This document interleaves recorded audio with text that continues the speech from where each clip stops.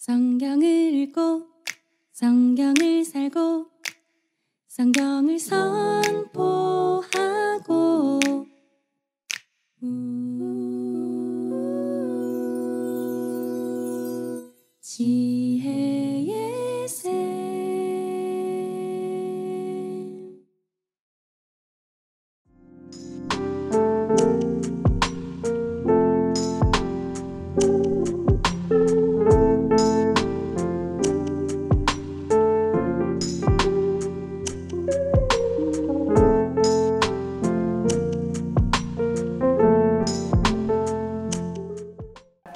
시작하겠습니다. 성부와 성자와 성령의 이름으로 아멘. 멸망할 자들에게는 십자가에 관한 말씀이 어리석은 것이지만 구원을 받을 우리에게는 하느님의 힘입니다.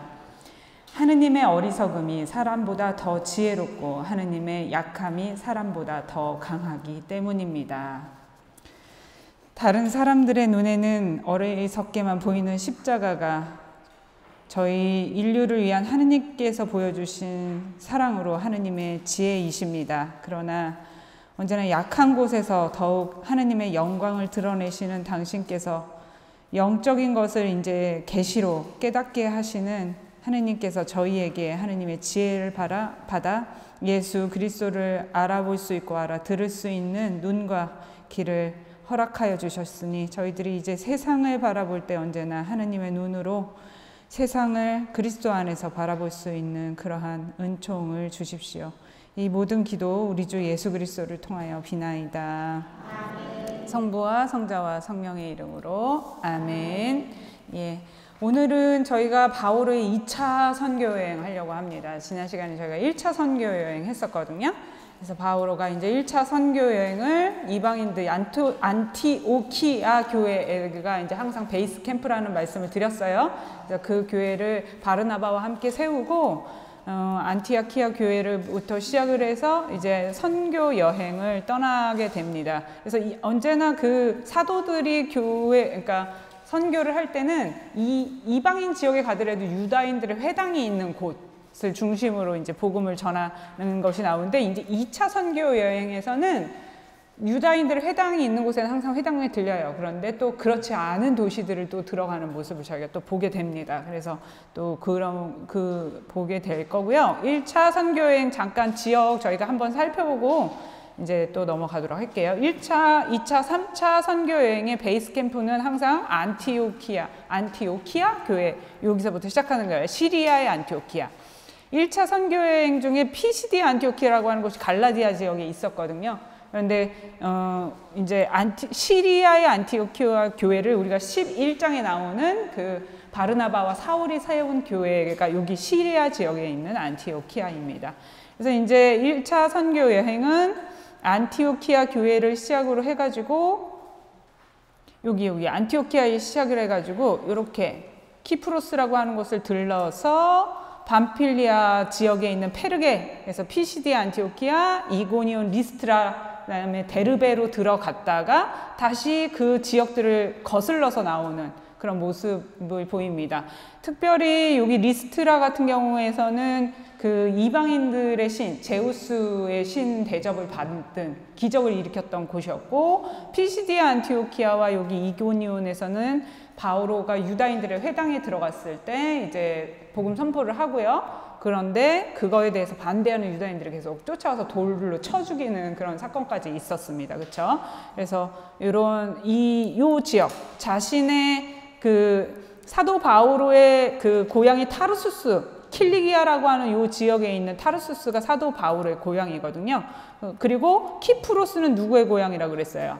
바르나바의 고향이라고 제가 그때 말씀드렸던 것 같아요. 그래서 요 바르나바 교, 고향을 이렇게 중심으로 해서 올라갔다가 갈라디아라고 하는 곳이 여기 이렇게 원래 이렇게 길게 이렇게 생겼거든요. 약간 장 모양으로 생겼어요.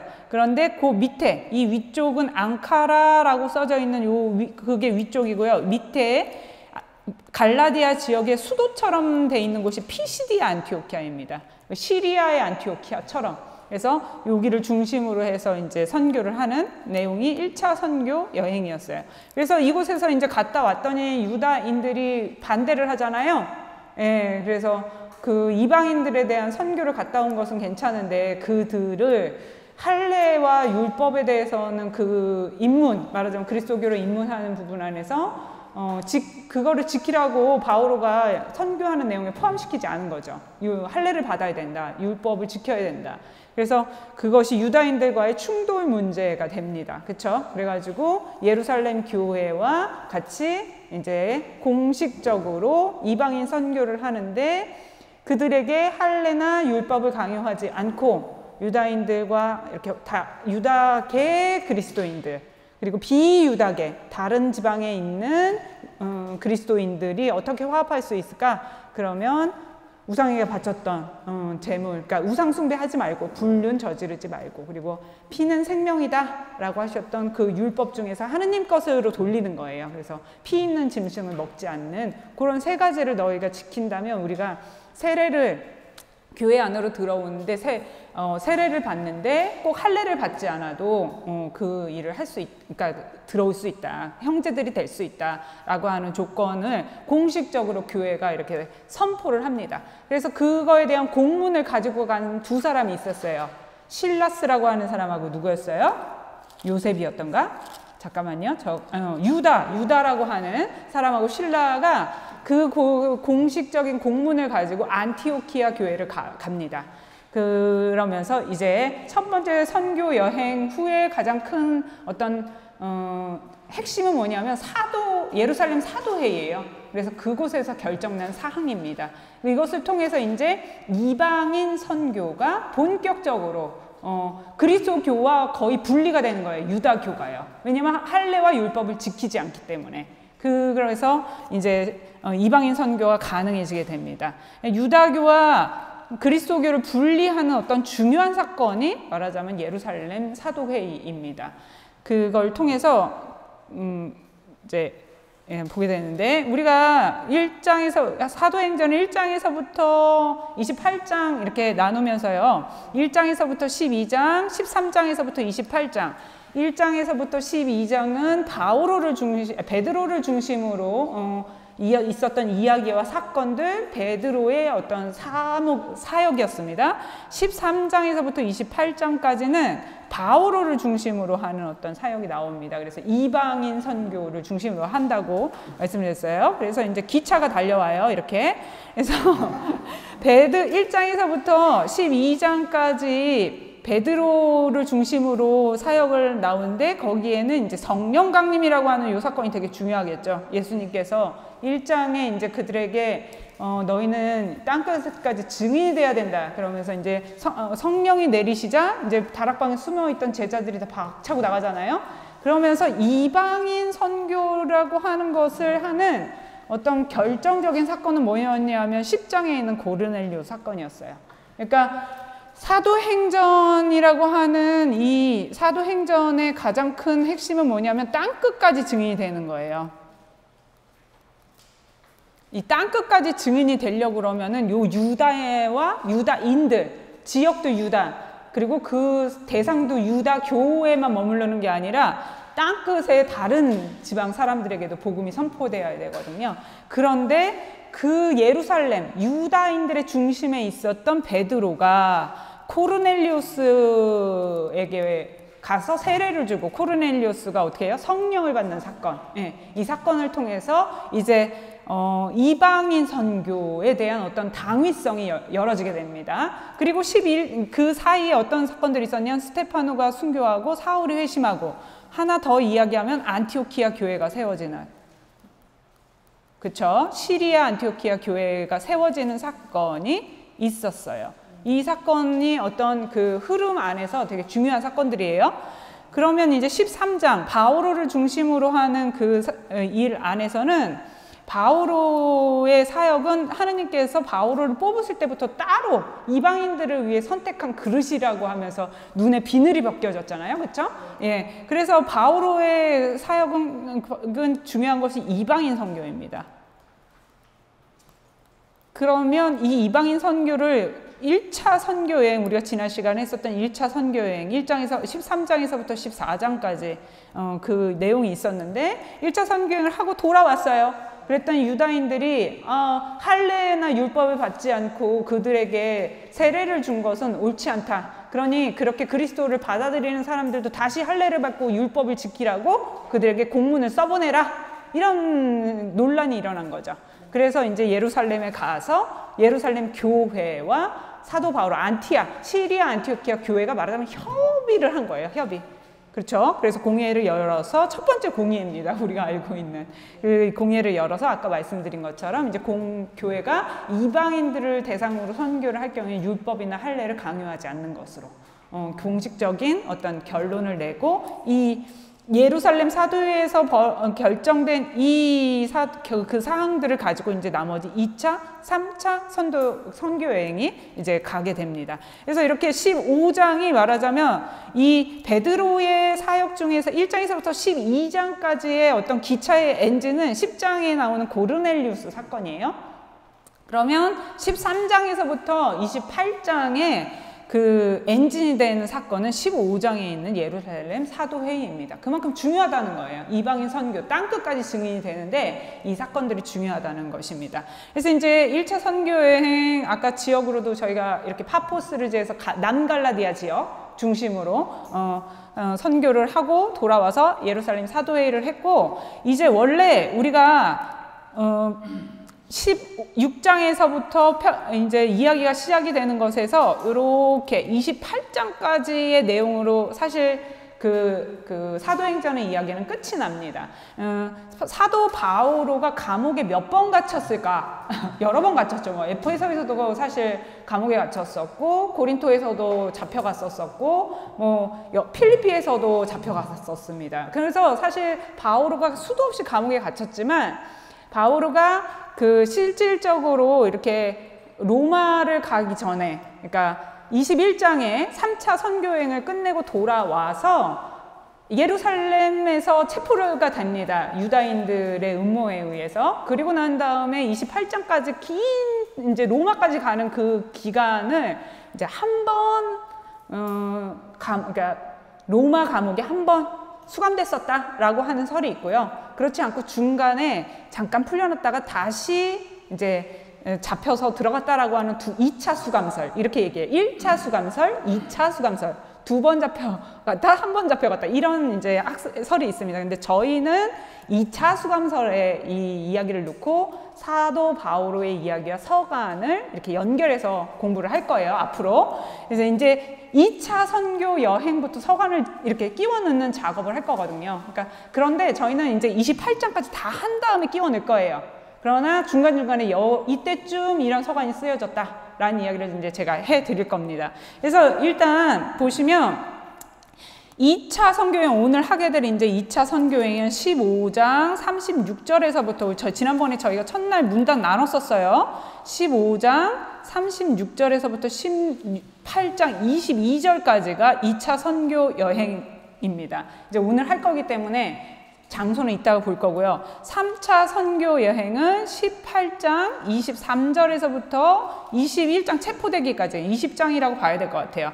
38절까지 이 3차 선교여행인데 여기에 주로 머물렀던 약 3년 정도 기간 동안 에페소를 중심으로 어, 선교를 합니다. 이곳에서 약 3년 동안 머물렀다고 성경에 또 나오고요. 그래서 3년 정도 머물렀다가 이제 어, 예루살렘의 교회에 들어가서 3차 선교여행 때 바오로의 목적은 뭐였냐면 구호 헌금을 걷는 거였어요. 예루살렘 교회를 위한.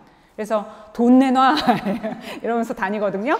어, 왜냐하면 그 모교회 예루살렘이 되게 어려웠었어요. 왜냐하면 유럽 지역은 로마 지역의 식민지들이 많았기 때문에 잘 살아요. 그런데 예루살렘은 어, 유다 지역이고 그, 그 어쨌건 그 교회 자체가 되게 가난한 지역이었습니다. 팔레스티나 그 지역 자체가 유럽보다는 가난했었죠. 그래서 사도 바울은 지역을 이렇게 돌아다니면서 구헌금 예루살렘 교회 모 교회 를 위한 돈을 이렇게 헌금을 했었어요. 그것을 가지고 이제 갔다가 돈 가지고 갔는데도 안 반겨주는 거예요. 어, 그 예루살렘 교회를 위해서 어, 구원금을 걷어가지고 갔는데도 유다인들의 모함에 의해서 이제 체포가 됩니다. 그러면서 이제 가이사리아 필리피라고 가이사리아라고 하는 감옥에서 2년 정도, 그다음에 로마 감옥에 가서 2년 정도 있었던 것으로 이제 되면서 이렇게 이제 그때 쓰게 되는 거가 옥중서관이라고 그래요. 옥중서관. 예. 이때. 그러다가 잠깐 풀려났다. 언제 한번. 그때 썼던 거를 사목서관이라고 합니다. 나중에 이제 또 할 거예요. 그러다가 이제 두 번째 다시 잡히게 되는 거는 언제 잡히냐. 이건 이제 아까 말씀드린 것처럼 28장은 여기서 이제 끝나요. 그리고 이 이후는 성경에는 나오지 않고 전승이나 학자들의 학설에 따라서 이렇게 나뉘어집니다. 근데 두 번째는 언제 네로 황제. 네로 황제가 AD 64년경에 그 로마에 불을 지르거든요. 그리고 그것이 자기가 불을 질러놓고 영감을 위해서 어, 미쳐 미친 황제였어요. 그래가지고 그 또 로마 도시를 다 태워놓고서는 그거에 대한 수습을 하려니까 그리스도인들에게 그 말하자면 범인으로 모르죠. 그래서 그리스도인들을 잡아들이기 시작하면서 박해가 시작됩니다. 그때 다시 아마 바오로도 잡혀갔을 것이다. 라고 이제 보고요. 순교 연도도 좀 다릅니다. 어떤 학자들에 대해서 어떤 65년에서 67년경에 이제 순교했다고 봅니다. 그래서 이렇게 이제 이 28장 이후에 다른 내용은 이제 학설이 좀 다르고요. 전승으로 전해지는 내용들에 따라서 다릅니다. 우리가 아는 내용은 여기 28장까지가 이제 성경에 나오는 내용이에요. 그래서 첫 번째 이제 잡히는 내용, 이, 이 3차 선교 여행을 갔다 와서 유다인들에게 음모를 받고 이렇게 잡히, 잡히고 근데 하느님은 거기서 끝나는 게 아니라 바오로가 어디까지 가길 원했냐면 로마까지 가길 원하셨어요. 그러면서 로마로 가는 길에 원래 어, 풍랑을 만나서 그 배에 타고 있던 280몇 명인가가 다 죽을 뻔했는데 하느님이 그때 바오로에게 나타나서 뭐라고 하셨냐면 천사를 통해서 너가 황제 앞에 갈 때까지는 아무도 죽지 않는다. 그래서 그 배 탔던 사람들이 모두 살아나는 그런 사건이 있었거든요. 예, 정말로 어, 사명자는 하느님 계획에 따라서 그 일을 이루실 때까지 죽지 않습니다. 그래서 우리 옛날에 저 저희가 북방 선교 기도 공동체거든요. 북한에 가야 된다. 아, 저 15년 전에 북한 간다고 그래. 아, 나 북한 가가지고 순교해야 되겠다. 아, 그 갑자기 그런 생각이 들었어요. 정말 가는 줄 알았는데 아직 못 갔지만 북방 가기 전까지는 안 죽는다. 그게 모토였어요, 저희. 그럴 정도로, 그럴 정도로, 이제 어쨌든 사도 바울로는 자신이, 어, 그, 로마까지 가는 길 안에 이렇게 뱀에도, 뱀의 독, 독사에게도 물렸는데도, 어, 살아났고, 그 수많은 사람들이 배에 타가지고 노예들, 노예 상선이었거든요. 그 상선에 그러니까 바울로도 같이 탄 거예요. 그랬는데 그 배에서 살아남는 그 자, 자기만 살아남는 게 아니라 그 배에 탔던 모든 사람들이 예, 살아남는 그런 사건도 있었습니다. 그래서 이제 저희가 오늘 공부하게 될 요 부분에는 2차 선교 여행이에요. 여기 부분 이제 그런 흐름 안에서 보게 될 텐데 이, 이거를 이제 사도행전이라고 하는 두루마리를 이렇게 보면 사도행전이 이렇게 어떻게 됐어요? 이렇게 구멍이 나 있어요. 그렇죠? 예. 이 구멍이 난 거에다가 이렇게 서간을 채우는 거예요. 그러면 사도행전이 좀 더 완벽해집니다. 이야기의 흐름이 좀 더 이해가 됩니다. 그리고 아 이런 배경 안에서 이런 서간이 쓰여졌구나 아 이런 배경 안에서 이 서간이 이렇게 쓰여졌구나 라고 하는 걸 이제 여러분들이 이해하실 수 있게 되고 그런 배경 안에서 쓰여졌어요 그런데 이제 13개의 서간이라고 하는 거는 우리가 성경의 목차에서 본다 그러면 신약 성경에 사복음서가 나오고 사도행전이 나와요 그 다음에 나오는 서간이 로마서입니다. 로마서부터 쭉 밑으로 내려가면은 13개 필레몬서까지 13개의 서간을 사도 바오로가 쓴 서간이라고 봐요. 목차 안 봐도 그냥 들으세요. 자, 그래서 로마서에서부터 이렇게 쭉 필레몬서까지 13개의 서간이 나옵니다. 이, 그런데 성경의 목차는 언제나 예언서도 그랬었고 분량에 따라서 목차 순서를 해요. 그래서 로마서가 가장 길거든요. 16장. 고린토서도 가장 길어요. 16장. 그래서 로마토, 고린토 1서, 2서 이렇게 쭉 나옵니다. 필레몬서는 달랑 한 장. 그러니까 이제 가장 끝에 나오는 거예요. 그런데 이것이 쓰여진 시기가 있다는 거죠. 물론 좀 시대는 시대적인 거는 이제 여러분들이 공부를 하면 더 자세하게 할 수 있지만 이번에는 이런 방식으로 아까 말한 대로 2차 수감설이라고 하는 거. 사도 바오로가 28장, 21장에 이제 사도행전 21장에 한 번 잡혔어. 그리고 로마에 가서 복음을 전했죠. 그러다가 끝날 때는 바오로가 죽었어요, 안 죽었어요? 안 죽고 어, 담대히 복음을 전하는 것으로 끝이 납니다. 그러다가 이제 바오로가 잠깐 풀려나는 거예요. 언젠가 한번. 그때 이제 썼던 서간들이 있고 그리고 다시 아까 네로 황제가 그 로마에 불을 지르는 사건 때문에 다시 그리스도인들을 박해하는 사건 때 바오로도 같이 잡히는 거예요. 그때 잡혔다가 마지막에 죽기 전에 쓴 서간이 또 있습니다. 옥중서간으로. 그래서 이제 우리가 사도행전과 연결해서 봐야 될 서간은 여섯 개입니다. 28장 안에 들어가는 서간.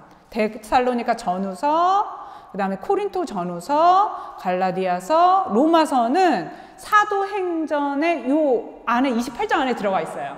그런데 나머지 7개는 옥중서간이면서 사목서간이라고 합니다. 사도 바오로의 사목서관, 사도 바오로의 옥중서관, 에페소서, 필레몬서, 콜로세인들에게 보낸 편지죠. 예, 필레몬, 필리삐, 그 다음에 티모테오 1, 2서, 티토서 이렇게는 이제 사목서관이면서 옥중서관이라고 해요. 이거는 사도 바오로의 생애와 이 사도행전과 그 다음에 서간을 끼워 넣는 거를 이렇게 이렇게 그래프로 그냥 그려봤습니다. 우리가 사도 바오로의 생애를 예수님의 생애와 연결을 시켜서 그냥 한 거예요. 예수님의 생애가 사생애가 있었죠. 예수님의 어린 시절. 그다음에 예수님이 공생활 갈릴레에서 공생활을 시작하기 시기 전에 세례를 30살쯤에 등장하십니다. 그렇죠? 그 사이에는 뭐 어떻게 살았는지 잘 우리가 몰라요.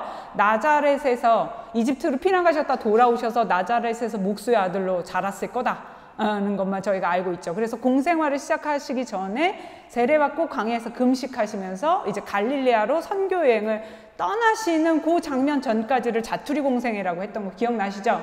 그래서 그렇게 이제 잡아봤어요. 그리고 이제 실질적으로 예수님이 공생활을 시작하시는 그 갈릴레아 선교 부분을 공생애라고 3년의 공생애. 로 요한복음에 따르면 가을절이 세 번 나오 네 번 나오기 때문에 예수님께서 3년 정도, 3년 이상 음, 어떻게 공생활을 하셨을 거다라고 추측할 수 있다라는 거죠. 그리고 이제 예수님께서 돌아가시는 마지막 일주일 어, 입성하셔가지고 그 다음 파스카 축제가 있기까지 한 일주일 기간을 이제 마지막 가을절이라고 하는 걸로 우리가 이제 입성 이후 십자가 사건 이루어지는 그 부분을 이렇게 사생의 짜투리 공생의 공생의 가을절 이렇게 나눴었거든요. 사도 바울의 생애도 예수님의 생애처럼 그냥 이렇게 나눠볼 수가 있어요. 사도 바울가 언제 태어났는지에 대해서는 정확하지 않습니다. 이제 학자들마다 다르니까. 그러나 어, 우리는 그냥 1년이라고 쳐요. 1년이라고 하고 어, 그가 어, 타르수스 출신이라고는 하는데 예루살렘으로 어렸을 때부터 유학을 와서 가물리엘의 제자였다. 바리사이의 율법학자였던 그런 가운데 유다교 중에 유다인, 히브리인 중에 히브리인, 베냐민 지파로서 자신이 자부심을 가지고 가물리의 수제자로 살고 있었는데 어떻게 됐냐면 다마스코스에 가가지고 그리스도인들을 잡아오겠습니다. 공식 문서를 써주세요. 그들을 잡아도 된다는 그러면서 이제 가, 최고위에 가가지고 써달라고 하잖아요. 그랬다가 잡으러 갔다가 어떻게 됐어요? 하느님을 만났잖아요. 예수님, 부활하신 예수님. 사울아 사울아 왜 나를 박해하느냐? 주님 주님은 누구십니까? 그렇죠 그래서 이 사울의 회심이 약 AD 32년경 또는 35년쯤에 있었다고 봅니다. 그래서 이 사울이 회심을 하고 난 다음에 바로 가지는 않고 아마 아라비아라고 하는 곳에서 3년 정도 정말 신관이 바뀌고 자신이 찾던 예수가 누구인지 고민하는 그런 어떤 그리스도 메시아죠? 메시아가 메시아는 누굴까? 예수라는 사람은 누구였을까에 대해서 고민하고 구약 성경을 다시 읽으면서 그 약속된 메시아가 그분이 맞는지 탐구하는 어떤 자신이 고민하는 시간이 있었을 거다. 그래서 그곳을 이제 아라비아에 한 3년 정도 있었는데 그 다음에 어떻게 됐어요? 예루살렘으로 들어가 가지고 사도들을 만났잖아요. 그랬는데 누구만 받아들이고 다 거부했다고요? 바르나바만 받아들이고 다 사도들이 그를 기피했어요. 그래서 어떻게 됐냐면 너 고향 가서 기다리고 있어. 어, 그래갖고 보낸다고 보냈잖아요. 이렇게 예, 도망치듯이. 그래서 타르수스에서 약 10년 정도 있었을 거다. 그래서 무명 시절이라고 표현을 했습니다. 이거는 짜투리 공생이에요. 왜냐하면 아직 공식적으로 바오로가 회심은 했지만 드러나지 않는 음, 그런 시간이었고 타르수스라고 하는 고향에 가가지고 말하자면 썩는 시간이었죠. 그렇죠? 그러면서 이제 안티오키아 교회가 세워질 때 바르나바에 의해서 픽업되죠. 타르수스에서 이제 바울을 데리고 옵니다. 사울을 데리고 오죠. 그렇죠? 그래서 사울과 함께 이제 안티오키아 교회를 세우고 거기에서 무슨 말이 나왔다고요? 그리스도인이라는 말이 나왔다고요.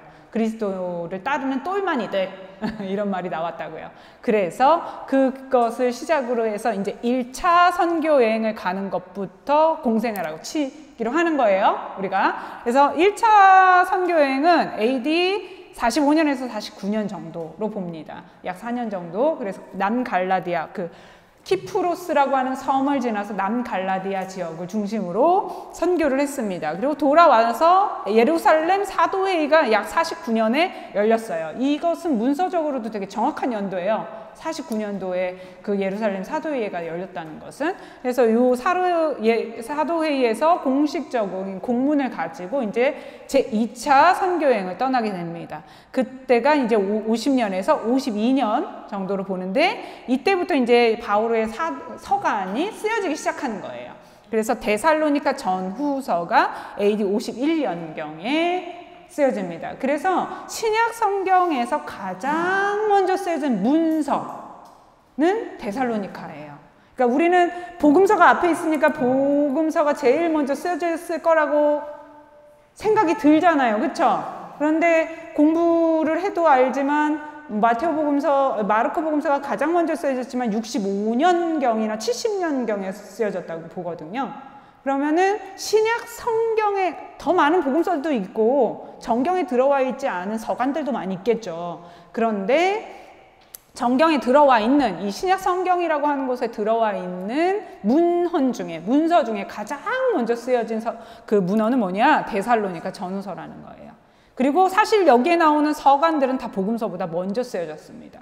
그래서 예수님께서 성찬례를 제정하시는 사건이 나오잖아요. 그쵸? 공간복음에, 요한복음에는 무슨 사건? 그 사건이 세종례 사건으로 나오는데, 공간복음에는 예수님이 성찬례를 제정하시면서 계약의 피다 이 얘기가 나오잖아요. 모두를 위한 모든 사람의 죄 사함을 위해서 내가 흘리는 계약의 피 그러면서 새 계약을 맺으시는 사건이 나오는데 그거에 대한 원문은 사실 고린토서예요.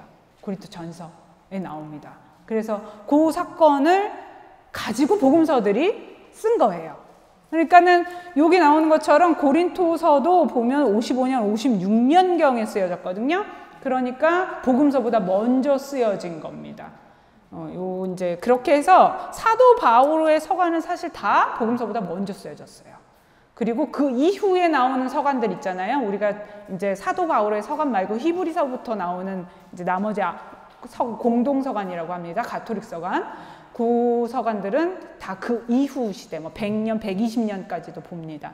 그래서 그 제자들의 제자죠. 사도들의 제자들, 제자 그룹들이 쓰여진 것으로 보는데 이렇게 이제 우리가 2차 선교 여행에서부터 바울가 서간을 쓰기 시작을 해요. 교회들에게 남기는 어떤 가르침들입니다. 그래서 2차 선교 여행 때는 데살로니카 전후서, 3차 선교 여행 때는 갈라디아서, 고린토 전후서, 로마서.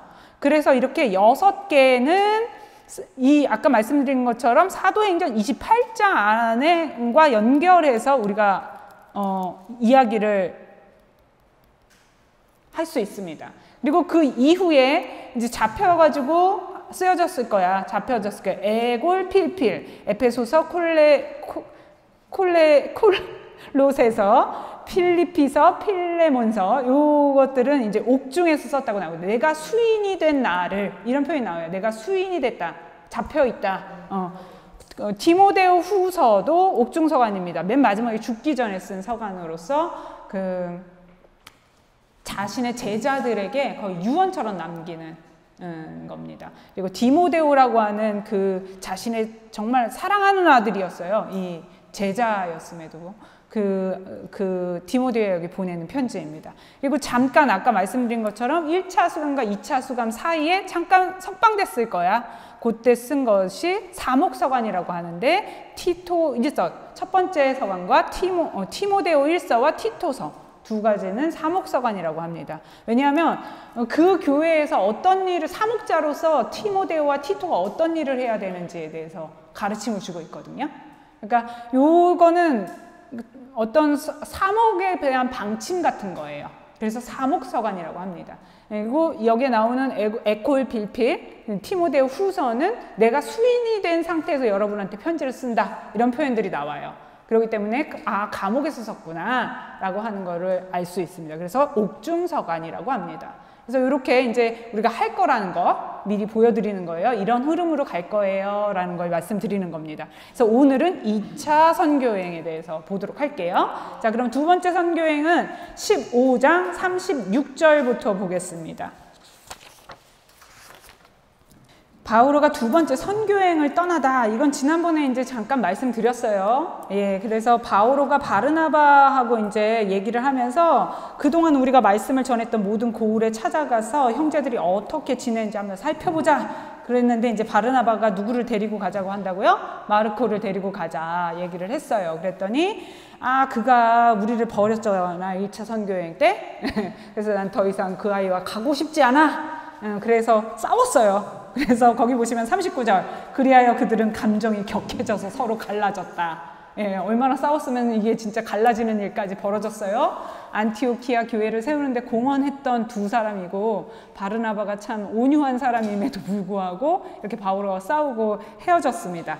그래서 바르나바는 마르코를 데리고 배를 타고 키프루스로 떠나고 바울은 실라스를 선택하여 떠났는데 형제들은 바오로를 주님의 은총에 맡긴다고 기도해 주었다. 이렇게 나옵니다. 그래서 아까 실라스는 사도회의에서 결정된 예루살렘 사도회에서 결정된 공문을 가지고 온 사람이었습니다. 그래서 예루살렘 사도 예루살렘 교회 지도자 중에 한 명이었어요. 그 표현이 거기 나옵니다. 15장 22절에 보시면 사도들과 원로들이 온 교회와 더불어 자기들 가운데 사람을 뽑아 바우로와 바르나바와 함께 안티오키아로 보내기로 결정했어요. 사도회의에서 결정된 사항을 보내는데 자, 그 사람들을 뽑아서 보내기로 합니다. 왜냐하면은 바로 바오로와 바르나바만 가면 사람들이 뭐, 그뭐 공식적인 거 아닌 거 아니야? 예루살렘에서 허락하지 않은 거 너네가 거짓말하는 거 아니야? 이러면 안 되니까 공식적이라는 거, 예루살렘 모 교회에서 허락한 일이라는 거를 갖다가 밝히기 위해서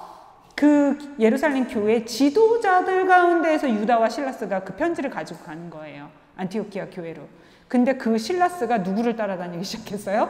바오로를 예, 따라다니기 시작합니다. 그래서 계속해서 이제 서간에 보면은 음, 바오로와 실라스와 디모데오라고 하는 사람의 이름들이 등장을 해요. 그래서 이걸 보실 수 있습니다. 자, 그래서 이제 16장에 가시면 바오로가 어디를 가냐면 데르베를 거쳐 리스트라에 당도합니다. 그런데 그 리스트라는 어떤 곳이었냐면 좀 기억해 보시면 앞에 잠깐 가보시면 14장 8절에 보시면 앉은뱅이, 태생 앉은뱅이를 고치고 제우스와 헤르메스라고 하는 이름을 불리면서 신대접을 받았던 이방인 지역이었습니다. 어, 그곳이에요. 그곳이 리스트라예요. 그런데 거기서 나중에 어떻게 됐냐면 안티오키아와 피시디아 안티오키아와 이고니온에서 몰려온 유다인들이 돌을 던져서 죽을 뻔했어요. 그리고 성 밖으로 내던져졌었던 사건이 있었던 곳입니다. 거기가 리스트라거든요. 그래서 거기 16장에 이제 리스트라에 당도했는데 그곳에 누가 있었다?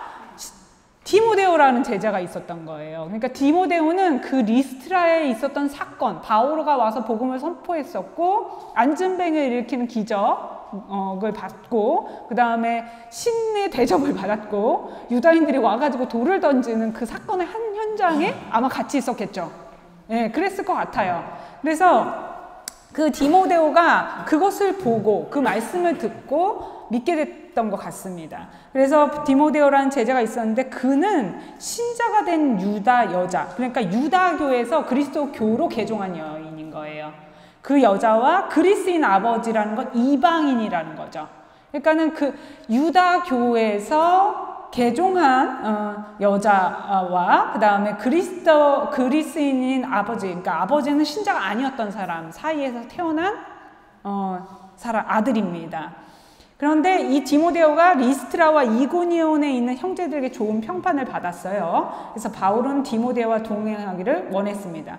그런데 그런데 디모데오는 아마 어머니가 그리스도인이지만 유다 여자이니까 유다교 여인이었긴 하지만 개종을 한 거에 보면은 유다교를 그러니까 이방인 지역에서 살기 때문에 할례를 아마 베풀지 않고 그냥 디모데를 키웠던 모양이에요. 그래서 할례를 배, 디모데오가 받지 않았었는데 바오로가 그래도 어머니가 유다교인 경우에는 그 이 유다인들은 모계의 종교를 거의 따라갑니다. 그렇게 되면 원래 어머니가 할례를 베풀었었어야 되거든요. 그런데 그러지 않은 것이 혹시 나중에 유다인들에게 복음을 전할 때 어, 어떤 또 어떤 걸림돌이 될까봐 그 디모데오와 그 2차 선교행을 떠나기 전에 그에게 할례를 베풉니다. 일부러. 그래서 그런 그런 상태에서 이제 어, 왜냐하면 디모데오가 유다인이 아니고 거기 보시는 것처럼 거기 3절 마지막 문장이 뭐냐면 그의 아버지가 그리스인이라는 것을 그들이 모두 알고 있었다. 이 뜻은 이방인이란 뜻이거든요. 그러니까 그가 이방인이고 유다인도 아닌데 유다인들을 대상으로 선교를 한다. 그랬을 때는 바오로는 유다임에도 불구하고 박해를 받았잖아요. 그런데 디모데오가 복음을 전하다가 돌면서 죽으면 어떡해요? 그리고 그 사람들도 그것 때문에 말하자면 그 디모데오의 권위가 없어질까봐 그런 것도 있고 유다인들의 그 걸림돌이 될까봐 이제 이 디모데오에게 할례를 베풀고 같이 선교를 하게 됩니다. 원래 이미 결정이 났잖아요 사도회의에서 그럼에도 불구하고 이 그것을 받아들이기 어려운 상황인 거죠. 예, 그러다 보니까 이런 결정을 하게 됩니다. 그래서 어떤 그런 가운데 그 리스트라라고 하는 곳에 가서 누구를 만났다? 예, 예루살렘 여기 시리아 안티오키아 여기서부터 시작해야 돼요. 이제 그 타르수스를 거쳐서 간, 음, 간다고 나오거든요. 그래서 이제 여기 바오로 어, 시리 요 요 지역을 거쳐서 여기 리스트라에 간 거예요. 이 리스트라에서 누구를 만나냐면 리, 디모데오를 만납니다. 그리고 이제 그 지역 자신이 선교했었던 지역을 돌아가요. 피시디아 안티오키아까지 갑니다. 이고니온도 가고 피시디아 안티오키아도 가요. 그러면서 이제 어디를 가려고 하냐? 이제 여기가 중요한 부분이에요. 마케도니아에 관한 환시를 보다. 성령께서 아시아의 말씀을 전하는 것을 막으셨다 이렇게 나옵니다. 아시아가 지금 보면 아시아가 여기예요. 여기 보이시죠? 예, 지도에서도 한번 보세요. 아시아가 여기 여기에 보면은 음, 그 중에서도 그 중에서 가장 큰 도시가 어디였냐면 에페소였습니다. 그래서 전도형 그 사도행전에 나오는 아시아라고 하는 표현이 나오잖아요. 그럼 거의 그냥 에페소예요. 에페소. 그리고 여기 보시면 그리스 이렇게 나오잖아요. 그러면 그리스는 여기 아카이아나 그리스라고 하는 곳은 그 중에서 코린토를 얘기합니다. 여기 아카이아 또는 그리스 이렇게 이야기 나오면 여기 나오는 고린토를 이야기해요. 여기 아카이아라고도 나오고 그리스라고도 하고 코린토 이렇게 합니다. 그러니까 성경에서 이제 정확하게 지명이 나오지 않고 그리스도라고 아, 그 고린토라고도 했다가 아카이아라고도 했다가 그리스라고도 했다가 이래요. 그때는 고린토 교회라고 생각을 하시면 돼요. 그다음에 여기 보시면 마케도니아가 나오죠. 예, 요 마케도니아의 가장 중심지는 필리피입니다. 그래서 마케도니아 교회 이렇게 이야기하면 거의 필리피를 이야기해요. 예, 그래서 그런 부분에 대해서는 여러분들이 머릿속에다 좀 넣어두시면 나중에 성경을 읽을 때, 아, 여기가 그리스라고 얘기하는데 고린토를 얘기하는 거구나. 아, 마케도니아를 얘기하는데 필리핀을 얘기하는 거구나. 아시아를 얘기하는데 에페소를 얘기하는 거구나. 라고 하는 걸 여러분들이 알아두시면 좋을 것 같아요. 그래서 가장 큰 어떤 중심지는 에페소, 필리핀, 고린토, 그리고 2차 선교여행에 에페소에 원래는 가고 싶었어요. 이렇게 가로지르면 돼요. 근데 뭐라고 했냐면 성령께서 아시아의 말씀을 전하는 것을 가로막으셨다. 이렇게 나옵니다. 그쵸? 그래서 어디로 가냐 하면요. 프리기아와 갈라디아 이렇게 피시, 어디 프리기아와 갈라디아 지방을 가로질렀다고 나옵니다. 그래서 이렇게 위로 올라가는 거예요. 요 갈라디아.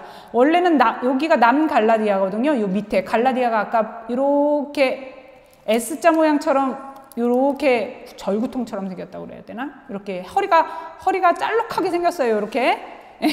그런데 1차 선교 여행은 여기 이렇게 남쪽을 중심으로 했어요. 그런데 바오로가 이제 이렇게 갈라디아 위쪽으로 지나서 어떻게 가느냐 하면 이렇게 이렇게 갑니다. 그래서 트로아스라고 하는 곳에 당도를 합니다.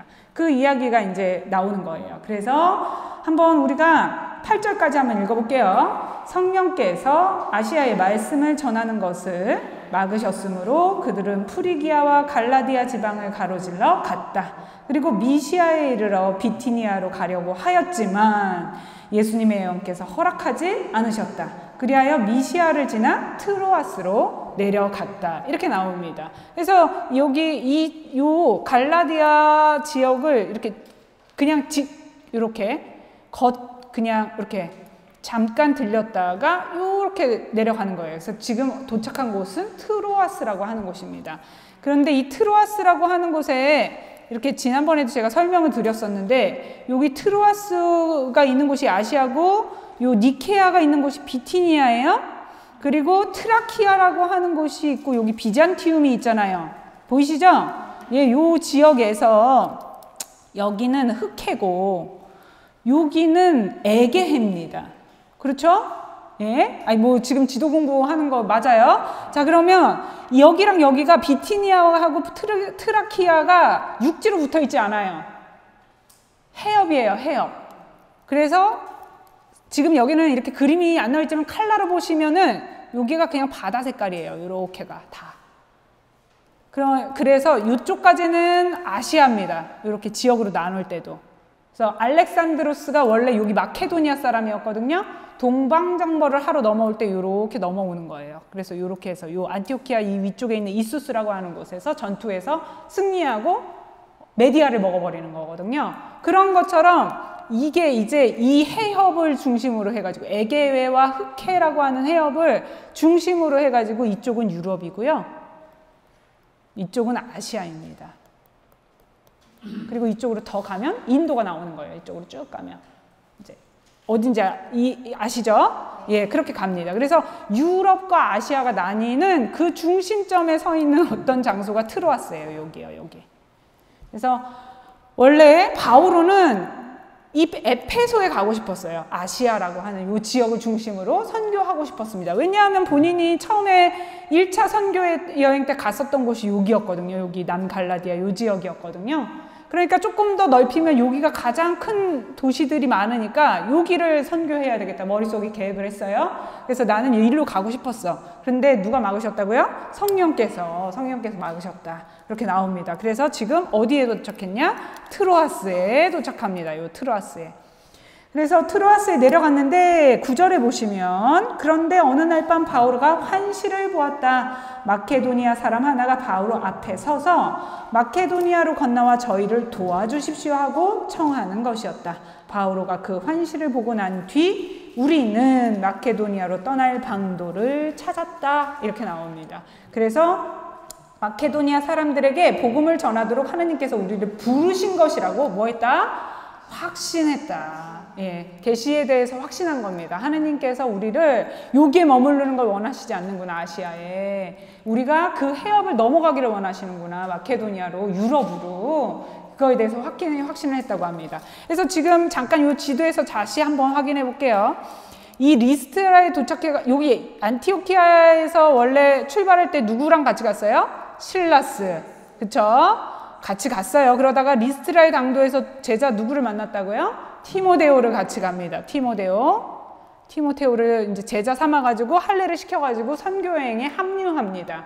그리고 원래 나는 아시아에 가서 여기 에페소에 가가지고 복음을 전하고 싶었어. 그런데 성령께서 예수님의 영께서 그것을 막으셔서 트로아스에 도착합니다. 그래서 이 트로아스에서 어떻게 하면 여기로 넘어갈까를 이제 방도를 살피고 있는데 거기 보시면 우리는이라고 하는 표현이 있어요. 6장 16장 10절에 그쵸? 그래서 이 우리라고 하는 말을 통해서 여기서 루카를 만났다고 봅니다.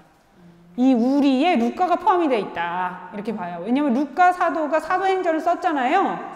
이 제1복음서 아니 그러니까 첫 번째 1권 루카 복음서를 썼죠. 제2권 사도행전을 썼죠. 예, 그래서 이제 여기 아마 트로아스에서 루카를 만나서 우리는이라고 하는 표현을 쓴 것 같다.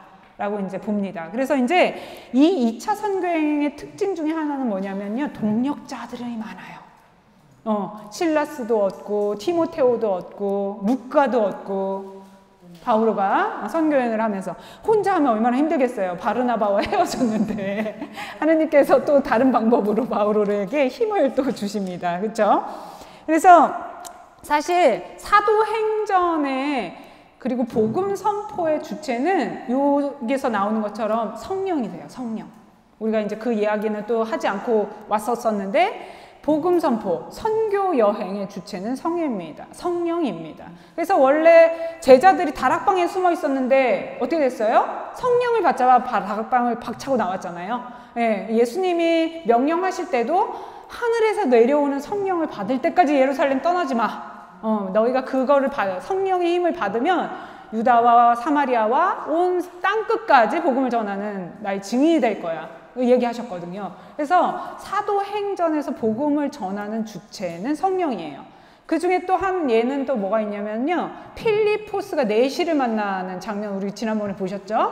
그때도 성령이 지시해요. 그 남쪽 땅으로 내려가가지고 어, 누구를 좀 기다려. 그랬더니 그때 네, 에디오피아 내시가 지나가다가 어, 만나서 세례를 받고 그 다음에 필리포스가 사라질 때 어떤 표현이 나오냐면 성령께서 그를 잡아채듯 낚아채서 데려갔다 이런 표현이 나오거든요. 그런 것처럼 복음 선포의 주체는 성령이십니다. 그래서 이 유럽으로 가는 것을 확신했다라는 표현이요. 내 힘이 아닌 거예요. 어, 성령께서 이끄신 겁니다. 그래서 이렇게 하느님께서는 하느님의 그 복음이 선포되는데 유럽을 향한 계획이 있으셨던 거예요. 그래서 트로아스로 가게 하셔서 이 루카라고 하는 사람을 만났어요. 동력자를 또 만났다고 봅니다. 이때부터 이제 루카는 자신 이름이 사실 사도행전에 한 번도 안 나와요. 서간에는 나옵니다. 근데 사도행전에는 루카라는 이름이 나오지 않습니다. 그럼에도 불구하고 이 책을 쓴 사람이 루카인 거는 학자들이 다 그렇게 보고 그리고 이 루카가 가지고 있었던 어떤 문학적 특성이 사, 이 루카복음사와 어떤 사상이 비슷하고 그렇기 때문에 루카라고 보고요. 그런데 그가 언제부터 이 그, 바울과 합류했을까에 대해서는 아까 얘기했던 우리는이라고 하는 요 단어로 그때부터 루카가 아마도 같이 합류해서 마케도니아 유럽 선교를 하는데 같이 갔을 거다라고 봅니다. 그래서 이제 넘어간 곳이 어디냐면 16장에 보시면 필리피에 가는 거예요. 필리피. 여기가 필리피입니다. 그래서 마케도니아 하면 필리피 교회를 생각하시면 되고요. 트로아스를 떠나서 이제 사모트라케로 직행한 다음에 네아폴리스를 거쳐서 필리피로 갔다라고 나옵니다. 그곳은 거기 보시면 마케도니아 지역에서 첫째 가는 도시였다고 나와요. 그러니까 아주 큰 도시였어요. 그리고 로마 식민시였다 이렇게 나오죠. 예, 로마 식민시라고 하는 의미는 뭐냐 하면은요, 로마와 똑같은 대우를 받는 거예요. 그곳에서 살면. 그러니까 로마인들과 같은 시민권을 받고요. 로마인들과 같은 똑같은 면세를 받습니다. 그리고, 어, 음, 그곳에서는 퇴역 장교들이 많이 살았대요. 그러니까는 일반적으로 이제 이제는 로마에서 살지 않더라도 다른 곳으로 로마에서 이주를 시키는 거예요, 일부러. 어, 왜냐하면 이제 자신의 땅덩어리를 이렇게 지키는데 로마인들을 일부러 이주시키는 거죠. 그러면서 그곳에 어떤 식민시라고 해가지고 특권을 주는 거예요. 로마와 똑같은 권한을 식민, 그러니까 누릴 수 있는 시민권을 줘요, 시민권을. 그리고 면세를 해줍니다. 그러니까 이제 그곳에 가서 많이 살고 이제 시민권을 얻기 위해서 그곳에 정착하는 사람들이 많았어요. 그리고 부자였어요, 그 동네가. 그런데 그곳에 누가 있었느냐 하면 리디아라고 하는 여인이 있었습니다. 그런데 거기 보시면 이제 어, 우리는 이 도시에서 며칠을 보냈는데 13절부터 한번 볼게요. 안식일에는 유다인들의 기도처가 있다고 생각되는 성, 성문 밖 아, 강가로 나갔다. 이제 안식일마다 유다인들을 만나러 바오로가 다니는 거예요. 그런데 이때 여기에는 아마 회당이 없었던 모양이에요. 로마 지역이다 보니까 아직 유다인들의 회당이 많이 어, 어, 없었던 것으로 보이고요. 그러니까 아마 유다인들이 살고 있는 있을 텐데 회당은 없었고 유다인들이 모여서 기도하는 곳이 강가, 성문 밖 강가라고 이제 추정이 되는 거예요. 그래서 그곳에 갔는데 인, 있었어요, 진짜로. 그래서 거기 보시면 이제 어떤 이제 여자들, 거기에 앉아서 모여있는 여자들에게 말씀을 전합니다. 그러면서 티아티라시 출신의 자색 옷감 장수로 이미 하느님을 섬기는 이라는 뜻은 유다교로 개종한 여인인 거예요. 유다교 사람이에요. 하느님을 섬긴다 이 표현은요, 이제 사도행전에서 지난번에도 말씀드린 것처럼 하느님을 섬긴다 이 뜻은 유다교였던 여인이었어요. 리디아라는 여자도 그 말을 듣고 있었는데 바오로가 하는 말에 귀를 기울이도록 하느님께서 그의 마음을 열어주십니다. 그러니까는 유다교였는데 메시아에 대해서 알고 있었겠죠. 예, 그러니까 예수가 그리스도다라고 하는 걸 이제 받아들이게 됩니다. 그래서 리디아는 온 지방과 함께 세례를 받습니다. 그래서 우리 성, 사도행전에 보면 온 집안이 세례 함께 받는 내용이 많이 나와요. 고, 코르넬리우스도 그랬고요. 간수도 그랬죠. 필리 여기 리디아도 그렇습니다. 이 온 집안이라고 하는 의미가 뭐냐면요. 이 네 식구만 얘기하는 게 아니에요. 거기에 딸려 있는 이렇게 종들도 포함이 되고요.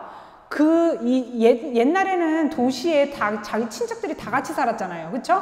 예, 지금도 뭐 우리도 그러시잖아요. 유지들도 보면 같은 동네 다 살잖아요. 그런 것처럼 자기네 모든 친척들을 얘기하는 거예요. 그러니까 한 사람이 구원을 받으면요. 그 구원의 영향력은 모든 사람에게입니다. 그러니까 그런 어떤 의미도 가지고 있어요. 영적인 것 안에서는요. 온 집안이 세례를 받는다. 이거는 그런 의미가 있고, 그리고 이 시대에는 이렇게 어떤 그 집안에 영향력이 있는 사람이 세례를 받으면 그 모든 사람이 다 세례를 받아요. 그러니까는 그때도 총독이 세례를 받는 것 되게 중요하다 그랬죠. 그렇죠? 그런 것처럼 어떤 중요한 의미가 있습니다. 어, 그 복음 선포가 빨리 되는 거예요. 빨리. 그런 의미가 있죠. 범위가 확장이 되는. 여기 보시면 이제 리디아라고 하는 여인이 그래서 유럽의 첫 세례 그리스도인이 되는 거예요. 첫 세례자가 됩니다. 그래서 리디아라고 하는 본명 가지신 분들 있으실 거예요. 어, 그분들은 이제 필리피 여인이에요. 근데 이 여인의 특징이 뭐였냐면 자색 옷감 장수라는 표현이 나오죠. 여기 보시면 티아티라라고 하는 도시가 아시아에 있어요. 여기 티아티라. 여기가 있는데 이 티아티라에서 뭐가 잘 나냐면 고동이 잘 나왔대요. 고동이 뭐 하는 거냐 하면 옷감을 물들이는 거예요. 그래서 이곳으로 이주해 왔어요. 리디아라고 하는 여인이. 예전에 기원전 680년경쯤에는요, 이 아시아 지역, 요만큼 지역 이름이 뭐였냐 하면요, 리디아 제국이었어요. 리디아 제국. 옛날에 제가 이거 카리안 셀프 뭐 이런 거 얘기하면서 그런 얘기도 했었던 것 같아요. 키루, 키루스가 제국 이렇게 통합할 때 리디아를 정복하는 사건이 있거든요. 그거 그 고대입니다. 아주 오래된 사건이죠. 요 지역이 그때까지도 리디아라고 하는 이름을 말하자면 불리웠던 거예요. 그러니까는 이 리디아라는 여인이 티아티라시 티아티라 출신이긴 하지만 리디아 댁이야. 우리 뭐 그런 거 하죠. 안성 때 예? 예, 그러니까 리디아가 원래는 이 지역 출신이라는 뜻이에요.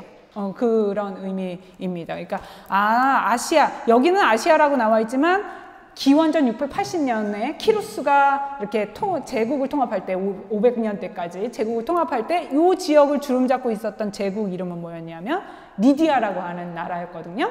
그 나라의 이름이 그때까지도 그냥 이렇게 쓰이는 거예요. 사람들 사이에. 그래서 리디아의 이름도 리디아 댁입니다. 말하자면. 그곳에서 온 여인인 거예요. 어. 그래서 그 리디아라는 이름을 그냥 쓰고 있었고, 원래는 어디 출신이냐? 티아티라라고 하는 곳의 출신입니다. 그래서 이곳에서 나는 고동을 수입을 해다가 옷감에다 물을 들여가지고 로마의 식민시에 살고 있는 부자들에게 파는 거예요. 그러니까 이 여인이 그냥 이렇게 남대문에 가가지고 옷 이렇게 띄어서 파는 여인이 아니라 수입해서 판매하는 대기업을 대기업, 중소기업, 좀 큰 기업이라고 할까요? 어, 기업이 되게 큰 기업을 가지고 있는 여인이었어요. 그래서 이 여인이 뭐가 많았냐? 돈이 많았어요. 그래서 바오로의 이야기를 듣고서는 자신의 집으로 초대하거든요. 우리 집에 와서 와달라고. 그래서 일단 지하로 데리고 내려가가지고 사과 박스를 보여주는 거죠. 그런 얘기 성, 성경에 안 나와요. 네, 그러면서 아 선교사님, 그러니까 사, 바오로가 선교한데 정말 물심양면으로 어, 그 돕습니다. 그, 그, 그, 리디아 나중에 성녀 찾아보세요. 그 설명에도 나옵니다. 물심양면으로 도왔다. 예, 그렇게 나옵니다. 그래서 필리피 나중에 필리피서에 보면은 물질적인 도움을 준 것에 대한 감사를 표현을 하는 장면이 있거든요. 그때 아마 중심에는 리디아가 있었을 것으로 봅니다. 그리고 이 여인이 그냥 여인이 아니에요. 여기서 보면 티아티라시 출신의 자색 옥감 장수로 하느님을 섬기던 리디아가 첫 세례자가 되었다. 유럽 지역에 뭐 이렇게 그냥 간단하게 나와 있지만 사실 이 필리피라고 하는 곳에서부터 유럽을 넘어서 이제 선교를 하러 가고 나중에 이제 어 복음 그러니까 그러니까 구호 헌금 얘기 아까 제가 말씀드렸는데 경쟁을 붙여요 막 이렇게 필리핀에서는 돈을 이만큼 줬으니까 너네는 이만큼 준비하고 있어 뭐 이런 얘기 나중에 서간에 보면 나옵니다 그런 것처럼 필리핀에서는 그만큼 물심양면으로 바오로의 선교에 도움을 줬고 그 중심에 이 리디아라고 하는 여인이 있었을 것으로 봅니다 그렇게 이렇게 어디로 이제 넘어갔어요? 유럽으로 넘어가서 복음을 전하게 되는 사건이 있습니다. 그런데 그 필리피에서 어떻게 되냐면 바오로가 감옥에 갇히는 그런 사건이 있습니다. 그래서 이제 감옥에 갇혔다가 이제 풀려나요. 예, 그냥 그 그거는 그냥 여러분들이 한번 읽어보세요. 네, 그래서 이제 음 그렇죠. 예, 여기가 아까 말씀드린 것처럼 유다인들 지역이 아니라 이방인 지역이라고 하는 또 다른 어떤 특징 중에 하나가 뭐냐면 거기 16장 16절에 보면 기도처로 갈 때 점귀신 들린 하녀 하나를 만났다라는 표현이 있어요. 그래서 귀신 들린 여인이 점을 쳐주는 거예요, 말하자면. 근데 이 여인에게는 주인이 많아요. 그건 뭐냐면은 그 여인을 통해서 돈을 번 사람들이 많았어요. 그런 가운데서 바오로를 쫓아다니면서 막 이렇게 어, 더러운 영이 얘기를 하는 걸 보고 바오로가 이제 귀찮고 계속해서 이런 일들이 벌어지니까 구마를 합니다. 그래서 갑자기 귀신이 나가버리니까 여자가 어떻게 됐어요? 어, 실력을 잃어버린 거죠. 신기를 잊어버렸어. 그래갖고 그 주인들한테 고발당하는 사건이에요, 이게요.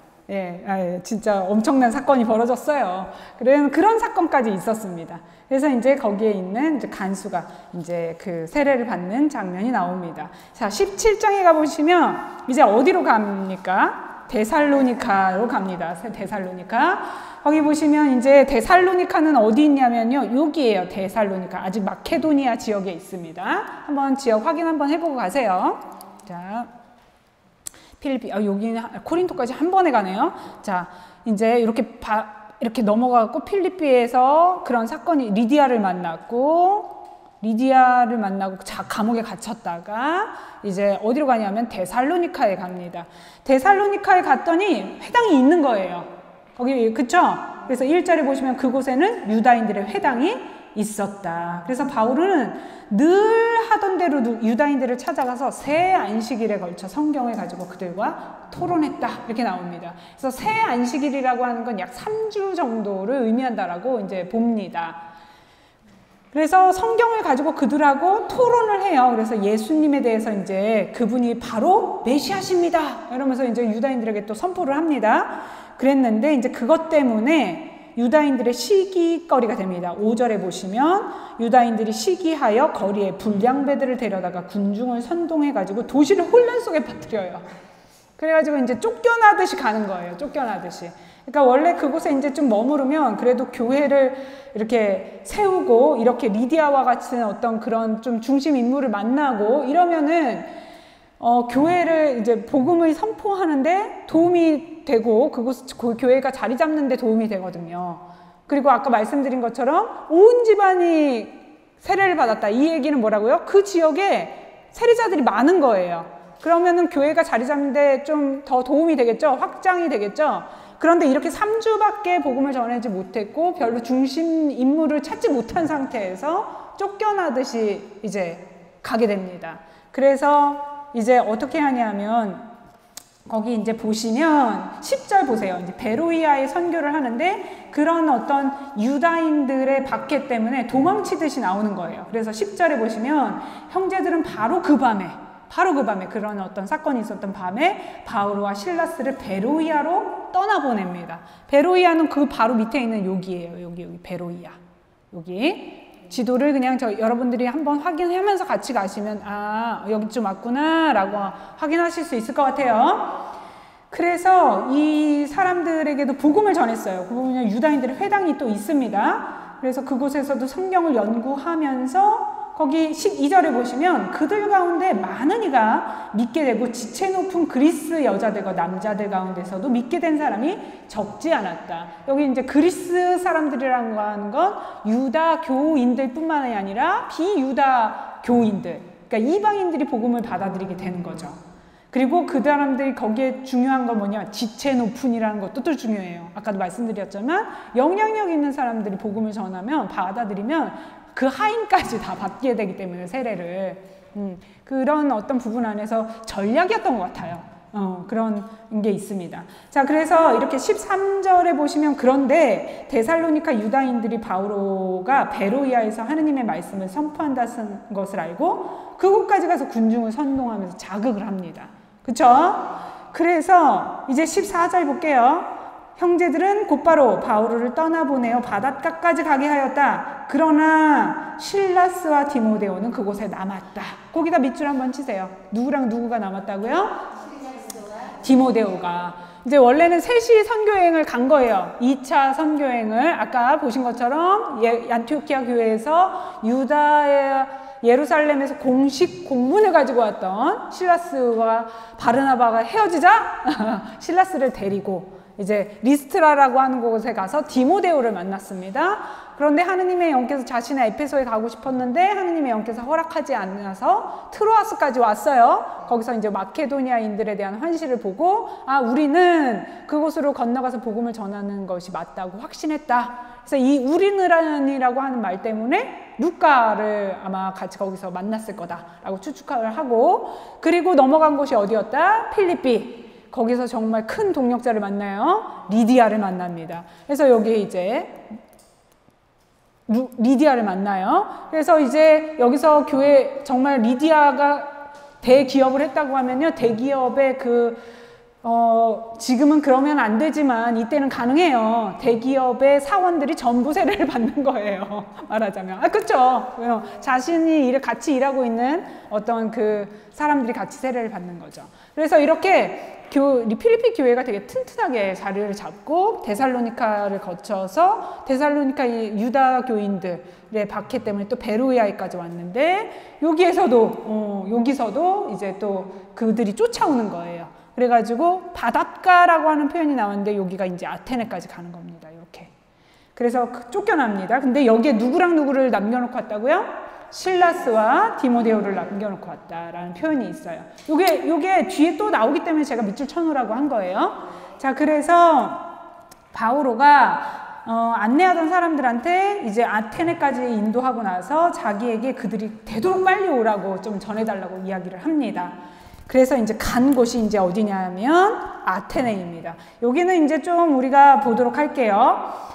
아테네가 이제 어, 아, 바오로가 아테네에 도착을 해서 갔는데 16절에서부터 저희가 음, 어, 10 18절까지 한번 읽어보겠습니다. 바오로는 아테네에서 그들을 기다리는 동안 그 도시가 우상으로 가득 찬 것을 보고 격분하였다.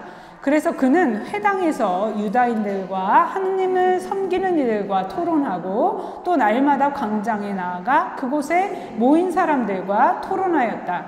에피쿠로스 학파와 스토아 학파의 몇몇 철학자도 바오로와 대담을 나누었는데 어떤 이들은 저 떠버리가 도대체 무슨 말을 하려는 것인가 하기도 하고 어떤 이들은 바오로가 예수님과 부활에 관한 복음을 전하는 것을 보고 이방 신들을 선전하는 사람인 것 같군 하고 말하였다. 예, 그래서 이곳에 갔는데 유다인들의 회당이 있긴 있었어요. 근데 그곳에 갔더니 뭐로 가득 차 있었다? 우상으로 가득 차 있었다. 이 아테네가 여기 아, 에, 아테네가 어, 그리스의 어떤 중심이었는데 우리 아테네에 철학자들이 많았어요. 그렇죠? 어, 학교 다닐 때도 그냥 들었던 거 보면 아테네 철학자들이 많았습니다. 여기서 나온 게 이제 어, 스토아 학파라고 하는 네, 학파 이게 우리 철학 배울 때도 나왔는데 성경에도 나와요. 이 당시에도 있었다는 거예요. 에피크로스 학파 뭐 이렇게 나옵니다. 그래서 스토아 학파와 에피크로스 학파라고 하는 이 학파들도 자신들이 어떤 철학적인 그거 안에서 어, 철학자들이 가장 중요하게 생각하는 것은 행복이라고 하는 거였어요. 어떻게 하면 행복하게 살 수 있는가. 근데 그 행복한 삶을 자신들이 그 행복한 삶을 사는 거예요. 근데 이 중심 안에서는 이 삶의 중심은 인간에게 있습니다. 인간에게. 그래서 이 인간이 어떻게 하면 우리 인간이 행복한 삶을 살아낼 수 있나? 덕을 쌓아야지. 그래서 사추덕 뭐 이런 거 나오는 거예요. 그래서 뭐 덕 얘기, 덕도 나오고 어, 철학도 나오고 이상세계도 나오고 그러나 그 안에는 메시아는 없어요. 구원자는 없고 어, 자신들이 덕을 쌓음으로 인해서 어떤 음, 행복한 삶을 살게 되는 겁니다. 그런 거기 때문에 긍정적인 것도 있었지만 어떤 또 부정적인 것 안에서는 이제 육체적인 것과 정신적인 것을 분리하는 어, 뭐 지금은 이, 이 당시에는 영지주의가 없었지만 그 당시 한 2세기 이후에 200년 이후에는 영지주의라고 하는 거 뭐 이렇게 그런 것이 되게 발달하고 그게 다 철학에서 나온 거거든요. 이제 그런 것들을 어떤 기반을 하는 어떤 철학, 뭐 우리 소크라테스라든가, 어, 그쵸? 플라톤이라든가 이런 사람들, 아리스토텔레스, 뭐 이, 이들 중심으로 이 아테네가 그런 철학과 문화가 되게 발달한 곳이었고, 거기 보시면 21절에 이런 표현이 나와요. 아테네인들과 그곳에 머무르는 외국인들은 모두 무엇인가 새로운 것을 이야기하고 듣는 일로만 세월을 보내는 사람들이었다. 이들은 그냥 이거 찾는 게, 어, 어떻게 하는 게 행복한 삶인가. 그래서 누가 와가지고 얘기를 해. 그러면, 어, 그거 괜찮네. 그러면 이제, 아, 그것이 나의 삶을 행복으로 이끌 것인가? 내가 그러면 거기서 얻을 것은 무엇인가? 이제 그거를 따라가는 사람들인 거예요. 신이라기보다는 자신들이 행복한 삶을 추구하기 위한 어떤 방식입니다. 그리고 이 당, 여기 보시면 우상으로 가득 찼다라는 표현이 나오는데 이 당시에 가장 많은 신이 뭐냐면 그리스 신화에 나오는 신들이죠. 로마 그리스 신화에 나오는 신들. 그들의 중심은 뭐냐면은 신들이 다 인간 모습을 하고 있잖아요. 그쵸? 예, 신들이 다 인간 모습을 하고 있습니다. 그리고 그 신화의 내용은 대부분 인간의 삶과 닮아 있어요. 죽는 얘기, 죽음, 뭐 연인, 사랑하는 얘기, 어, 얼굴 예쁜 뭐 미모 뭐 나오고 술신도 있었잖아요. 바다의 신, 제우스, 태양신 뭐 이래가지고 다 인간의 삶과 연관이 되면서 그것이 자, 신을 인격화 시켜가지고 인간하고 다른 어떤 조, 인간과 비슷하면서도 인간보다는 초월적인 존재로 이렇게 우상으로 섬깁니다. 그런 거였는데 바울은 여기서 어떤 거를 선포를 하는지 저희가 한번 볼게요.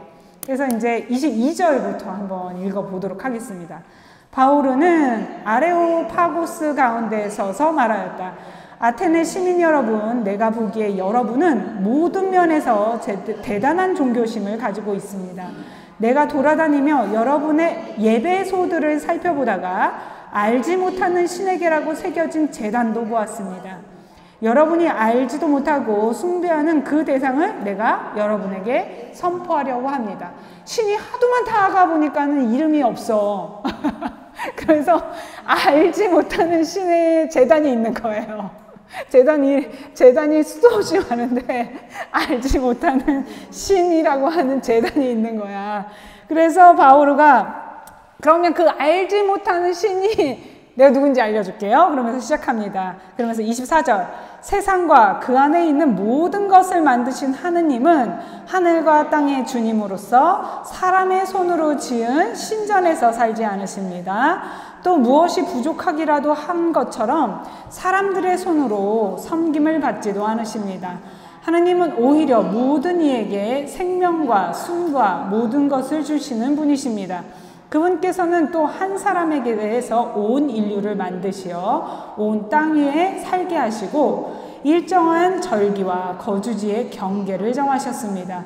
이는 사람들이 하느님을 찾게 하려는 것입니다. 더듬거리다가 그분을 찾아낼 수도 있습니다. 사실 그분께서는 우리 각자에게 멀리 떨어져 계시지 않습니다. 예. 그래서 거기 보시면 여러분들은 바다의 신, 천둥의 신, 무슨 풍요의 신, 지혜의 신, 미모의 신, 술의 신, 다, 그리고 그들은 다 어디에서 살아? 신전에서 살아. 그리고 인간의 모습을 하고 있어. 그런데 여기 보면 그 모든 것을 만드신 분이 누구냐면 그 알지 못한 신이라는 거예요. 음, 그 내가 여러분이 어, 선포, 내가 하늘과 땅의 주님이야. 뭐 제우스도 필요 없어 태양신도 필요 없어 그냥 그분은 하늘과 땅의 주님입니다. 그러면서 그분은 사람의 손으로 지은 신전에서 살지 않습니다. 그리고 오히려 그분은 모든 것에게 생명과 숨을 불어넣어 주시는 분이에요. 무슨 풍요의 신이라고 그래서 뭐, 뭐 이렇게 곡식의 신이라고 그래서 이런 거에 뭐 어, 제한되어 있지 않아. 그분은 그냥 모든 것에게 생명과 숨을 주시는 분이십니다. 그리고 그분은 절기와 거주지의 전개를 정했다. 이런 표현을 통해서 말하자면 이 땅의 그 모든 이렇게 땅, 우리가 얘기하는 천지 창조 때에 만들어진 어떤 무태, 묻과 바다, 뭐 우리가 살고 있는 땅과 절기, 이런 것도 다 그 한 분이 만든 거예요. 그러면서 그분께서 그렇게 하신 이유가 뭐냐면은 더듬거리다가 나를 좀 찾아. 어, 아, 여기 예, 뭐 하늘, 천둥, 바다, 번개 이렇게 따로 나눌 필요가 없어. 그냥 그 안에 그분이 다 계시는 거예요. 모든 것 안에 계시는 하느님에 대해서 선포를 합니다. 그러면서 29절에 한번 보세요. 어, 우리는 하느님의 자녀이므로 인간의 예술과 성상으로 빛나, 빚어 만든 금상이나 은상이나 석상을 신과 같다고 여기어서는 안 됩니다. 하느님께서는 무지의 시대에는 그냥 부하 넘겨주셨지만 이제는 어디에 있든 모두 회개해야 한다고 사람들에게 명령하십니다. 그분께서 당신이 정하신 한 사람을 통하여 세상을 의롭게 심판하실 날을 지정하셨기 때문입니다. 그리고 그분을 죽은 이들 가운데서 다시 살리시어 그것을 모든 사람에게 증명해 주셨습니다. 예전에 그리스도가 오기 전에는 무지의 시대, 어, 그분께서 선포되기 전에 그분을 모를 때에는 그냥 넘겨보아 주셨지만 이제는 예수 그리스도가 선포된 거예요. 음, 그러니 그 이제는 어, 모든 사람 그 한 사람을 통해서 의롭게 심판하신 날을 지정하셨고 그분이 어떻게 하셨냐면 부활했다. 이런 표현을 하는 겁니다. 예, 그분의 어떤 수단과 죽음에 대해서 또 이야기를 하는 겁니다. 그러면서 이제 인간이 이들이 섬기는 신은 인간의 모습을 형성한 신의 모습인데 하느님은 어떤 분이시냐면 우리 인간이 하느님의 모습대로 창조됐어. 우리는 그분의 자녀야. 어, 그럼 우리가 하느님의 모상대로 창조가 됐고 그분이 뭐 하시는 분이냐면 하늘과 땅의 주님이야. 그리고 그분은 절기를 정하셨고 어, 이 신상이나 어떤 걸로 만드는 게 아니라 그냥 우리 안에 그리고 모든 것 안에 그분이 있다는 거예요. 더듬거리면서 찾을 수, 있다. 그리고 그분께서 그분을 모를 때는 상관없어요. 그런데 이제 그리스도가 선포가 됐어. 그분을 통해서 모든 이들이 심판을 받게 할 어떤 그런 날이 지정이 됐다라는 거예요. 그러면서 그분께서 뭘로 증명했냐면요. 부활하심으로써 어, 모든 이들에게 어, 그것을 선포됐다고 이야기를 합니다. 그래서 사도 바울은 그 이들이 가지고 있는 종교심, 내가 보니까요, 여러분들이 종교심 대단한 것 같아요. 정말 어, 없는 신이 없어요. 모든 신이 다 있는데, 예, 그신 중에 여러분들이 알지 못하는 신에게라고 하는 그 신에게까지 바쳤던 그 알지 못하는 신이 누구인지 내가 어, 선포하겠습니다. 그 앞에 있는 그런 성, 그런 신상으로 만든 신이 아니라 그분은 그들을 넘어서는, 예, 그거 인간이 만든, 손, 손으로 만든 형상에 불과한 것이 아니라 그냥 모든 것 안에 창조하신 하느님에 대해서, 창조자 하느님에 대해서 선포를 합니다. 그래서 그 분께서 보내신 예수 그리스도 그 한 사람이라고 하는 표현을 했는데 여기서는 그리스도라고 하는 표현을 직접적으로 하진 않아요. 그런데 그 하느님께서 보내신 그 한 사람을 통해서 세상을 의롭게 심판할 것을 이제 그분께서 정하시고 구원을 선포하셨는데 그것에 대한 증명을 뭘로 하셨냐? 부활이라는 것을 통해서 우리에게 전해줬다라고 이야기를 하고 있습니다. 그래서 이제 그거, 그 이야기를 듣고 몇몇 사람들이 이제 그, 어, 예, 믿게 되는 그런 이 야기가 나와요. 그래서 이 아테네는 정말로 그냥 이방인 지역이에요. 유다인들이 있기는 있었지만 완전히 이방인 지역입니다. 그래서 그 우상들 사이에서 선포를 하고 이, 이 학자들 아까 얘기했잖아요. 새로운 것이 들리면 그것을 듣는 거에 귀를 기울이면서 사는 것을 삶을 살았던 그들에게 그리스도를 선포하는 그런 자리입니다. 그래서 되게 이 설교가 그 되게 중요한 그 설교입니다. 그리고 난 다음에 그가 넘어간 곳이 어디 있냐면 고린토로 넘어가는 거예요. 이 고린토에서도 이제 어 아직 실라스하고 티모테오가 오지 않았어요. 아테네에서 그 선포를 할 때는 바울은 혼자였습니다. 그래서 이제 가 보시면 18장부터 한번 저희가 5절까지 읽어볼게요. 그 뒤에 바오로는 아테네를 떠나 코린토로 갔다. 거기에서 그는 폰토스 출신의 아킬라라는 어떤 유다인을 만났다. 아킬라는 클라우디우스 황제가 모든 유다인은 로마를 떠나라는 칙령을 내렸기 때문에 자기 아내 프리스킬라와 함께 얼마 전에 이탈리아에서 온 사람이었다. 바오로가 그들을 찾아갔는데 마침 생업이 같아 그들과 함께 지내며 일을 하였다. 천막을 만드는 것이 그들의 생업이었다.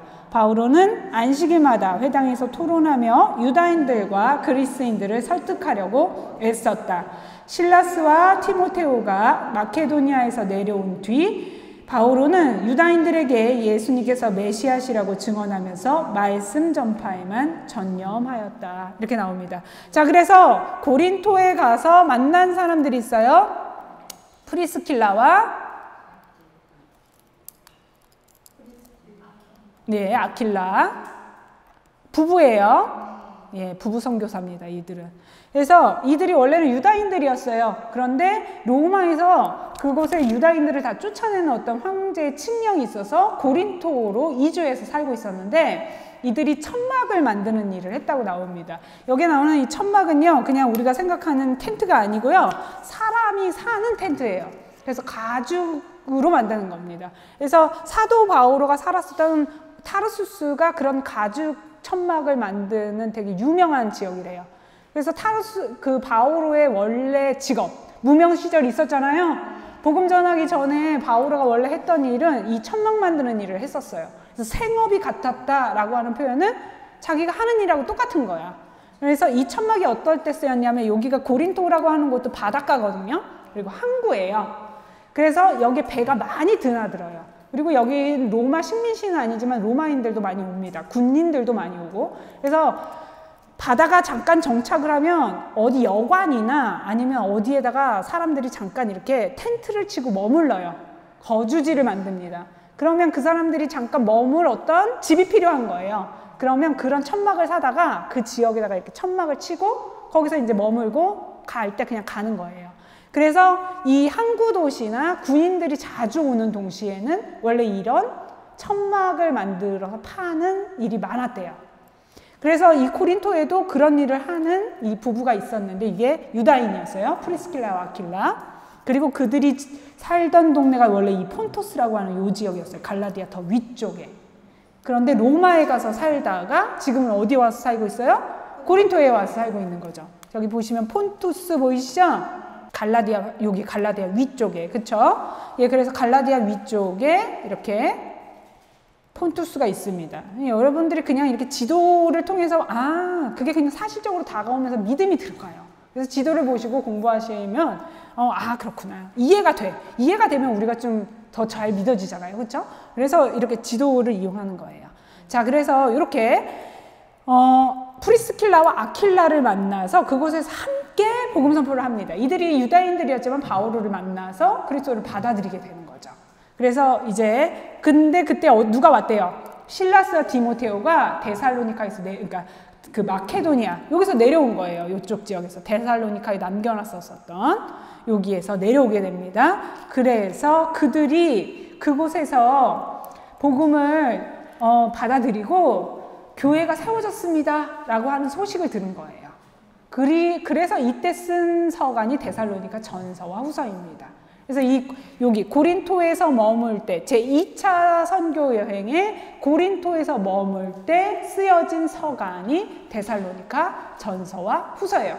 첫 번째 데살로니카 전서를 써서 보내요. 그런데 그들이 믿음에 대해서 뭔가 조금 다르게 이해하고 있는 것이 있는 것 같아서 다시 보내는 게 두 번째 서간입니다. 그건 이제 나중에 제가 데살로니카 어, 할때 말씀을 드릴게요. 그래서 데살로니카 전서 잠깐 한번 가볼까요? 거기 보시면 인사 한 말이 나와요. 데살로니카 전서. 테살로니카 신자들에게 보낸 첫째 서간 골로새서 뒤에 보시면 있습니다. 찾으셨어요? 자, 그러면 이 인사말에 보시면 바오로와 실바누스와 디모테오가 하느님 아버지와 주 예수 그리스도 안에서 살아가는 데살로니카 사람들의 교회에 인사합니다. 이 이야기는 교회가 세워졌다는 얘기예요. 3주 동안밖에 아까 새안식일이라고 하는 그 기간밖에는 복음을 전하지 못했고 자신이 거기 그곳에 복음을 전하고 싶은데 막 유다인들이 박해하는 것 때문에 막 이렇게 밀려서 밀려서 밀려서 아테네에 갔다가 고린토로 들어와 온 상황이었거든요. 그래서 교회를 아직 정하지 못했어. 세우지 못했어. 지도자를 세우지 못한 상황이었는데 이제 교회를 그 데, 실, 실라스와 디모데오를 남겨놓으면서 그들에게 이제 나머지 마무리를 부탁을 한 거예요. 복음 그 교회를 세우도록 그러면서 이제 거기 보시는 것처럼 그 실바누스와 디모데오라고 하는 이름이 그 위에 나오죠. 같이 왜냐하면 그들이 교회를 세우는데 협력했기 때문에 예, 그 어떤 권위적인 의미에서 바오로뿐만 아니라 두 제자의 이름이 같이 실려 있습니다. 그리고 데살로니카 사람들의 교회에 인사합니다. 이러는 거 보면 그 데살로니카 교회가 세워진 것을 알 수 있습니다.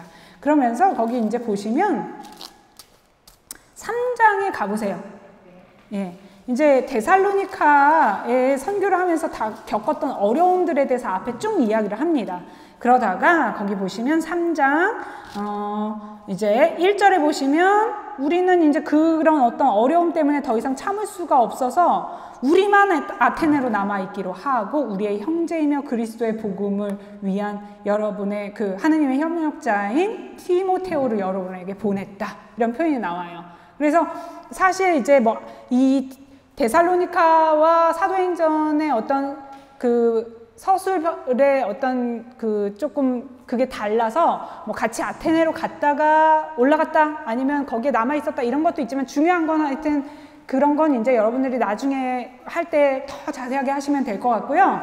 그때 어쨌든 디모데와 실라스가 남아 있다가 그곳에서 흔들리지 않도록 그들에게 힘을 북돋아주고 교회를 세우는데 일을 한 거예요. 그런데 6절에 보시면 이렇게 써 있습니다. 그런데 이제 여러분에게 갔던 디모데오가 돌아와 여러분의 믿음과 사랑에 관한 기쁜 소식을 우리에게 전해 주었습니다. 또 여러분이 우리를 늘 좋게 생각하고 우리가 여러분을 간절히 보고 싶어 하듯이 여러분도 우리를 그렇게 보고 하신 보고 싶어 한다는 소식을 들었습니다. 그래서 내가 이 편지 씁니다. 이런 거예요.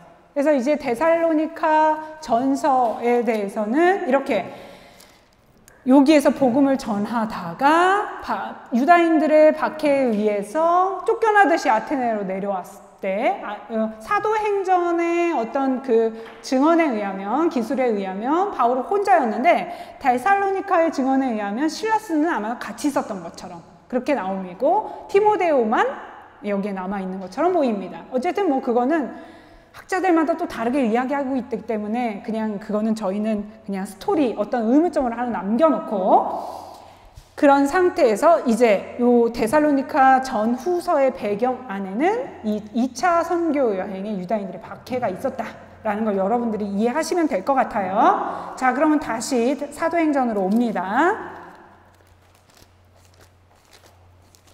사도행전으로 오시면 이제 고린토에서 이제 선교를 하면서 어, 어, 그 회당 회당장 유다인들의 회당에서 복음을 전했었었거든요.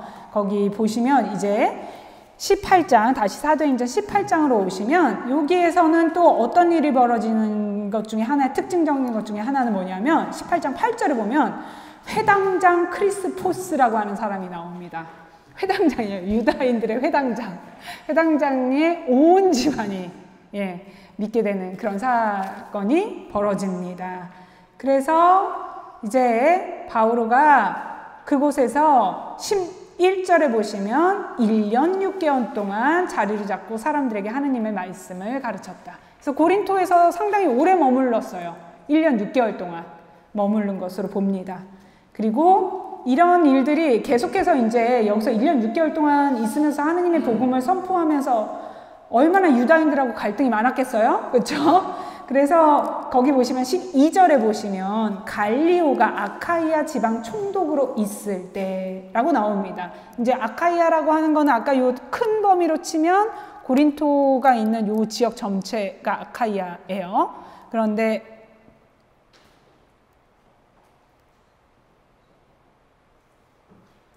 네, 요 지역 전체가 아카이아입니다. 이 아카이아인데 여기 여기 여기 아카이아의 지방 총독이라고 하는 건 로마에서 보낸 총독이에요. 그 정확하게 연대가 나옵니다. 이 사람이 여기 총독이었을 때가 그래서 50년에서 51년에 어, 그곳에 있었다라고 봅니다. 이게 이제 말하자면은 공식 어 그러니까 기록 문서에 있는 거예요 역사 문서에 그래서 요때 요때 바오로가 에페소 요 고린토를 중심 지역 고린토에 있었던 시대와 데살로니카 전서가 쓰여진 시대를 51년도 정도로 보는 거예요 50년도에서 51년 그 52년도 사이쯤으로 봅니다. 그래서 이 아카이아 지방 총독으로 있을 때 이것 때문에 유다인들이 들고 일어나 가지고 바울을 재판장으로 끌고 오는데 이 갈리오라고 하는 사람이 뭐라고 하냐면 14절에 보세요. 이렇게 나옵니다. 갈리오가 유다인들에게 이제 말합니다. 유다인 여러분, 무슨 범죄나 악행이라면 여러분의 고발을 당연히 들어주겠소. 그러나 말이라든지 명칭이라든지 여러분의 물, 율법과 관련된 시비라면 스스로 알아서 처리하시오. 그러니까 명칭, 말 이러잖아요. 부활에 대한 이야기, 뭐 이런 거. 메시아에 대한 이야기. 뭐 이런 거예요 말하자면. 그리고 율법을 지켜야 된다는 둥 지키지 않아야 된다는 둥 할례를 받아야 된다는 둥 받지 않아도 된다는 둥 뭐 이런 거. 이제 이런 것들에 대해서 서로 갈등을 일어나고 있는 것이니 이건 니네 문제잖아 니네 문제. 어 그러니 그냥 니네끼리 알아서 해결해. 그냥 잘 협의봐. 이렇게 하면서 그냥 이제 어떤 소동이 이제 마무리가 되면서 어떤 역사적인 사건까지도 이 안에 포함이 되어 있다. 갈리오라고 하는 지방 총독이 그 아카이아 지역에 총독으로 있었다라는 사실을 루카는 담고 있다라는 거죠. 자, 그 다음에 이제 18절에 보시면 안티오키아로 교회로 돌아가는 장면입니다. 그러면서 거기 18절 한번 읽어볼게요. 바오로는 한동안 그곳에 더 머물다가 형제들과 작별하고 프리스킬라와 아킬라와 함께 배를 타고 시리아로 갔다. 지금 누구를 데리고 간대요? 프리스킬라와 아킬라를 데리고 가는 거예요. 예, 예. 그래서 바오로는 서원한 일이 있었으므로 떠나기 전에 켕크레애에서 머리를 깎, 머리를 깎았다. 그들은 이 에페소에 도착하였다. 바오로는 그 두 사람을 그곳에 남겨두고 혼자 회당에 가서 우다인들에게 이제 한, 어, 이렇게 토론을 하고 어, 갑니다. 그런데 거기 보시면 그 두 사람이 누구냐면 프리스킬라와 아킬라를 이제 어디다 남겨놓냐면 요 에페소에 남겨놓는 거예요.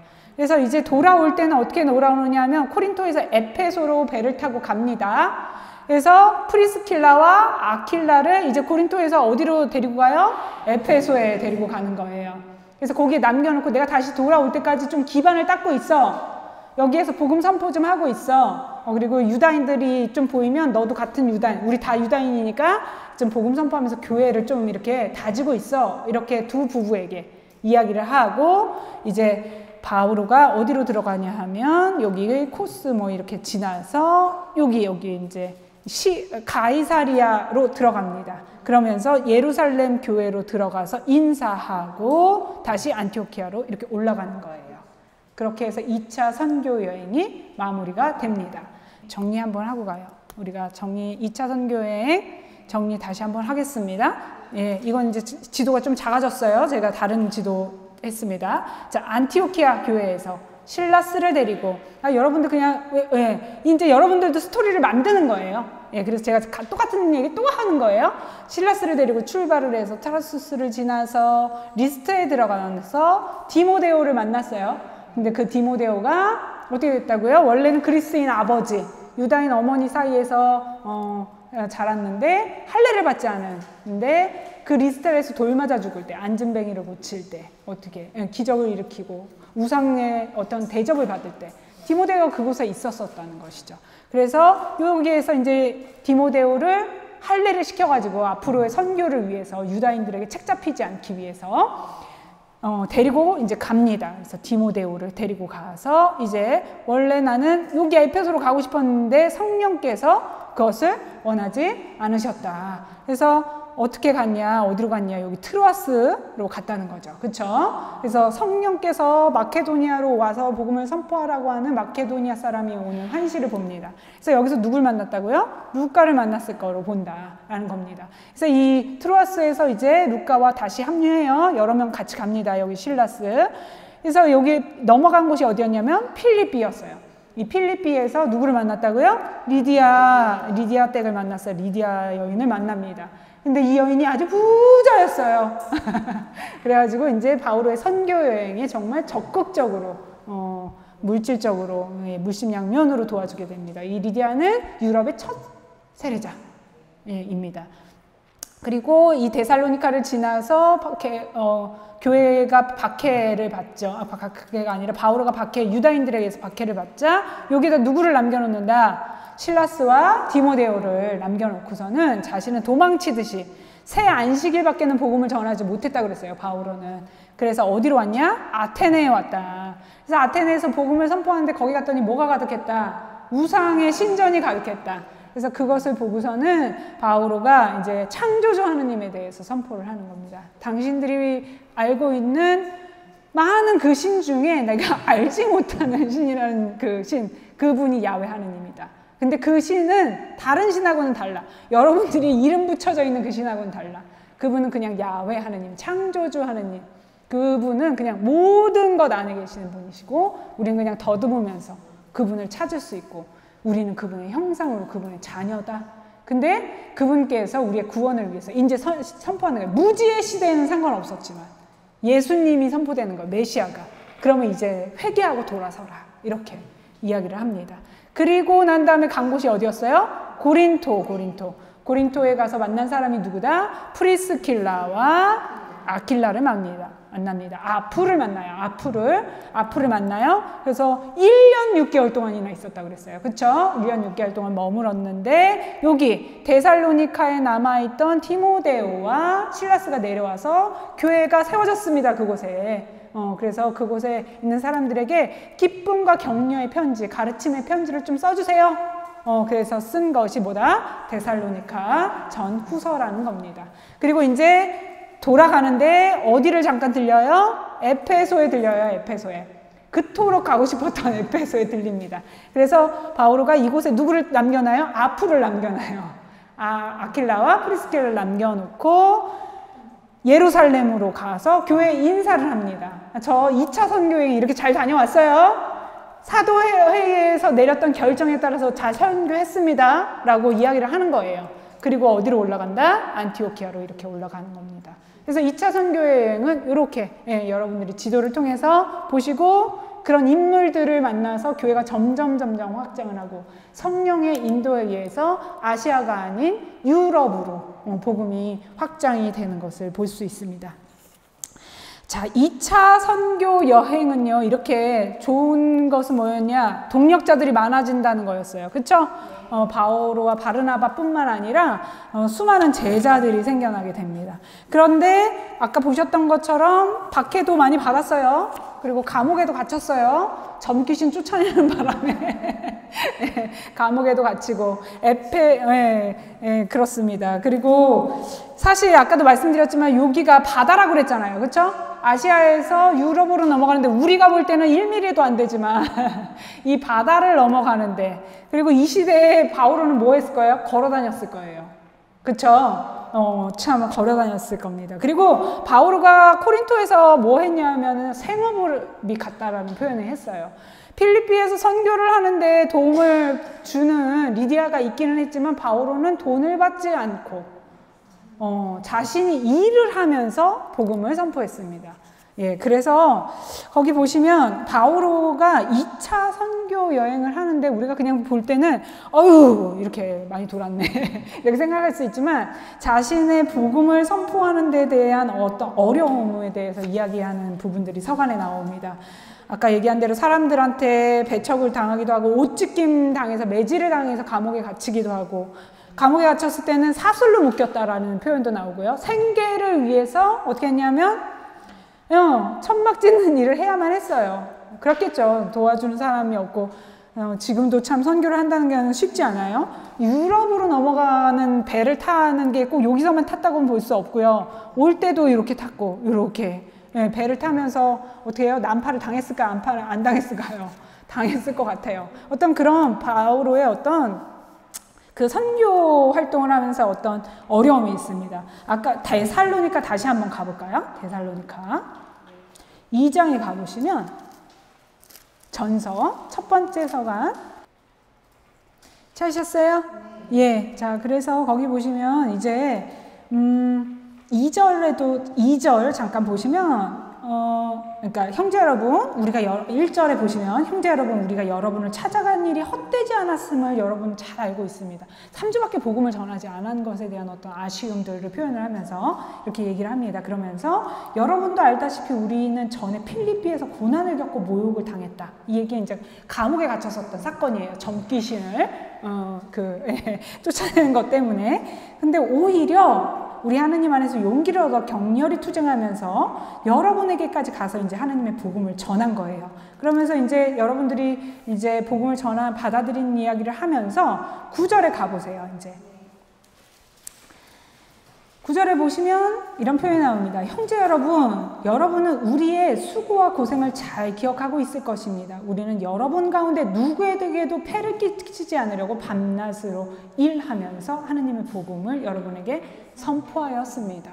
그래서 이 밤낮으로 일했다라는 표현이 아까 얘기한 대로 바울은 자신의 생계를 위해서 돈을 벌어요. 그리고 안식일마다 가서 복음을 전하는 그런 형태로 일을 했습니다.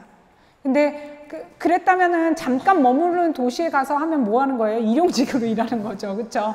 뭐 프리스킬라와 아킬라 같이 어떤 가게를 가지고 있는 사람 밑에 자신의 협력자가 아니라 그렇게 나는 누군가에게 어떤 그런 음, 폐를 끼치지 않기 위해서 밤낮으로 일하면서 자신의 생계를 준비했다라는 표현이 나와요. 고린토 우리 후서에 한번 가볼게요. 고린토 후서 11장에 가보세요. 앞으로 가셔야 돼요. 제가 뒤를 쳐다보거든요. 앞쪽으로 가시면 11장 16절에 한번 가보세요. 고린토 후서 11장 16절.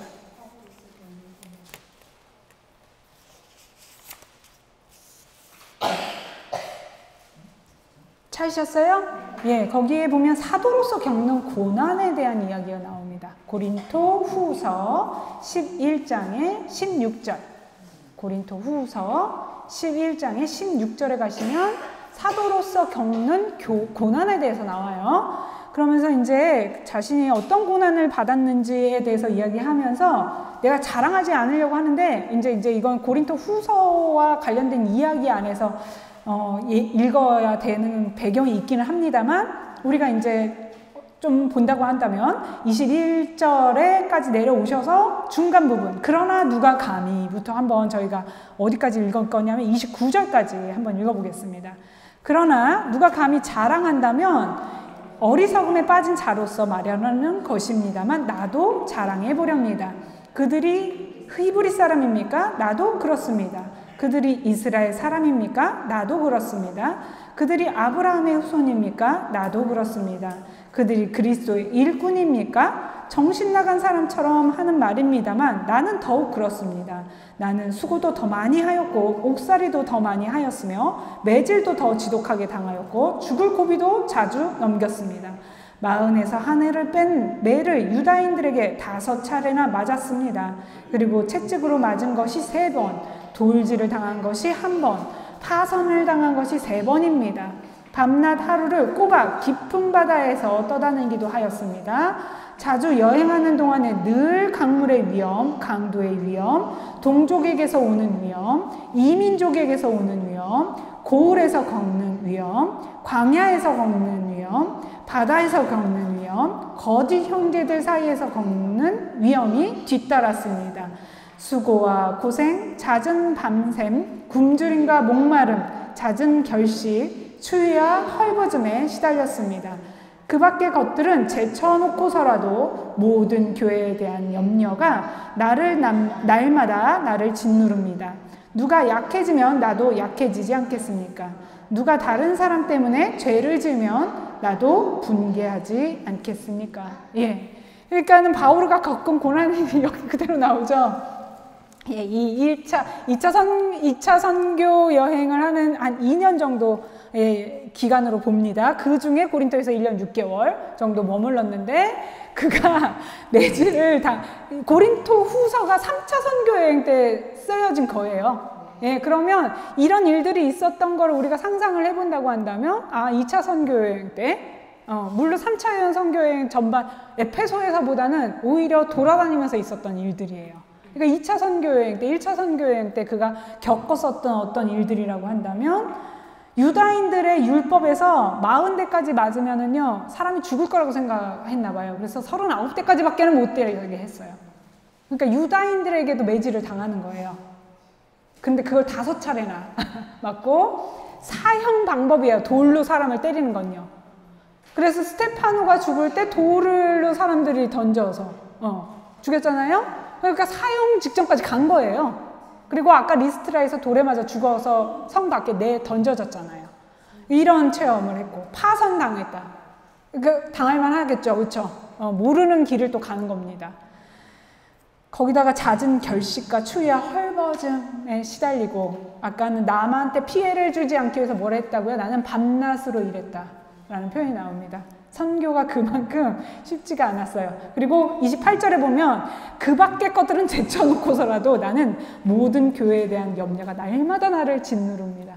저기 가서 어떻게 교회를 세워야 되나. 그 교회는 어떻게 자리를 잡았을까. 어, 그러니까 어, 그 교회에 대한 어떤 정신적인 것까지 사도 바오로는 예, 그렇게 예, 어, 예, 진짜 지금으로 말하면 스트레스를 받고 육체적인 고통뿐 아니라 정신적인 고통을 받았습니다. 그런데 사도 바울은 이것을 뭐라고 표현했냐면요. 나는 그리스도의 고난에 동참하는 거다 라는 표현을 했습니다. 그래서 억울하고 어떤 모욕과 시기와 질투, 뭐, 그 다음에 정말 육적인 것 안에서의 어떤 고통을 받는 것, 그런 것까지, 그러니까 뭐였냐면 그것이 바오로에게는 하느님의 말씀을 듣는 것이 어, 사도행전 4장에 가면요. 베드로와 요한이 그 최고의 사람들한테 잡혀서 감옥에 갇혔을 때 예수님의 이름으로 더 이상 복음 선포하지 말라고 경고를 받습니다. 그런데 베드로와 요한이 뭐라고 얘기하냐면 하느님의 말씀을 듣는 것이 사람의 말을 듣는 것보다 더 낫다라는 표현을 합니다. 사도 바울의 마음도 똑같은 거예요. 이 일이 누가 주관하시는 거라고요? 성령께서 하시는 것이다. 그래서 마케도 자신은 에페소에 가고 싶었지만 나는 마케도니아에 가는 것이 어, 맞구나. 거기에 가는 것에 확신했다라는 표현을 합니다. 그래서 그 이 모든 것을 십자가 그리고 복음의 고난 그분의 고난에 동참하는 것이라고 얘기합니다. 그래서 필리피서 한번 우리 가볼게요. 필리피서 3장 우리가 고난이라고 여기서는 이제 사도 바울은 선교의 어려움에 대해서 이야기했지만 이 모든 것이 복음을 전하는데 십자가의 고난에 동참하는 것이라고 사도 바울은 이야기합니다. 그러면서 그 고난에 동참을 하는 것을 통해서 무엇에 이를 수 있다? 부활에 이를 수 있다는 것이에요. 그런데 그 고난에 동참한다는 것은 예수님께서 죽으셨잖아요. 그렇죠? 예수님께서는 어, 정말 사람들에게 모욕을 당하시고 억울 뭐 신성 모독이 아니라 그냥 당신은 당신 신이 메시아예요. 하느님이셨지만 우리의 구원을 위해서 정말 속죄 제물이 되셨습니다. 그래서 어, 십자가의 길을 걸으셨고 십자가를 지셨고 가시관을 쓰셨고 매질을 당하셨고 그리고 그분은 죽으셨고 예. 근데 사도 바울은 이 모든 일이 십자가를 받아들이고 그분의 고난에 동참하는 것이라고 이야기를 합니다. 그러면서 필리피스 3장 10절에서부터 11절 저희가 한번 한번 읽어볼게요. 나는 죽음을 겪으시는 그분을 닮아 그분과 그분 부활의 힘을 알고 그분 고난에 동참하는 법을 알고 싶습니다. 그래야 어떻게든 죽은 이들 가운데서 살아나는 부활에 이를 수 있기를 바랍니다. 부활에 이른다는 것은 뭐냐면요. 죽어야지 부활을 할 수 있거든요. 그렇죠? 근데 사도 바울은 뭐라고 했냐면은 고난에 동참하는 법을 알고 싶어. 왜냐하면 내가 그분의 부활에 동참하기 위해서. 그러니까 그러면서 그렇게 하는 이유를 뭐라고 표현했냐면 12절에 뭐냐면 나는 이미 그것을 얻은 것도 아니고 목적지에 다다른 것도 아닙니다. 그것을 차지하려고 달려갈 따름입니다. 그리스도 예수님께서 이미 나를 당신 것으로 차지하셨기 때문입니다. 그가 이렇게 고난을 십자가를 받아들인 이유는 예수님께서 부활하셨기 때문이고 예수님께서 죽음으로 인해서 우리를 속량하셨기 때문에 이미 나를 차지하셨기 때문이다. 라고 표현하고 있습니다. 그래서 나는 그 길을 달려갈 따름이다. 아직 도달하지 않았어. 아직 도달하지 않았지만 나는 그것을 차지하려고 달려간다. 라고 이야기합니다. 그러면서 로마서에서는 뭐라고 이야기하냐면요. 하느님의 사랑에 대해서 믿는 이들에 대해서 이 모든 것을 이겨내게도 어, 이 고난을 이겨낼 수 있는 역경입니까? 환난입니까? 그 표현 나오죠? 우리 되게 유명한 텍스트인데 그런데 우리는 사, 우리를 사랑해 주시는 그 분의 힘에 힘의 도움에 힘입어 이 모든 것을 이겨내고도 남습니다라는 표현을 합니다. 그래서 이렇게 우리가 그분의 이 사도 바오로는 자신 부활을 뭐라고 표현을 했냐면요. 죽음에서 살아나는 것이기도 하지만 우리가 변화되는 것이다. 라고 이야기했습니다. 우리가 그리스도를 따른다는 것, 우리가 복음을 선포한다는 것, 바오로와 같이 우리는 이런 고난을 받지는 않아요. 그러나 바오로와 같이 억울한 일을 당할 수도 있고 복음을 선포하면서 아니면 내가 믿는 사람 때문에 믿는다는 것 때문에 가정 안에서 오, 가족들 안에서의 어떤 오해들이 있을 수도 있고요.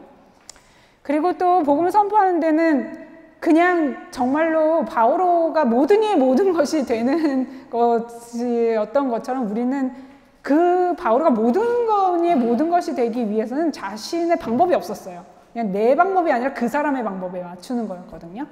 그렇기 때문에 내가 없는 거예요. 내가 없는 거. 예수님과 같이 그냥 자신은 죽는 겁니다. 그래야 네. 거기에 맞출 수 있죠. 내 방법이 살아있으면 어떻게 해요? 맞춰져요? 안 맞춰지죠. 억울하잖아요. 어떻게, 어, 내가 거기에 맞춰. 뭐 이렇게 되잖아요. 그런 거예요. 그래서 사도 바울은 이 모든 일을 고난, 그리스도의 고난에 동참하는 방법이 무엇인지 나는 알고 싶습니다. 왜냐하면 그분께서 이미 나를 차지하셨기 때문에.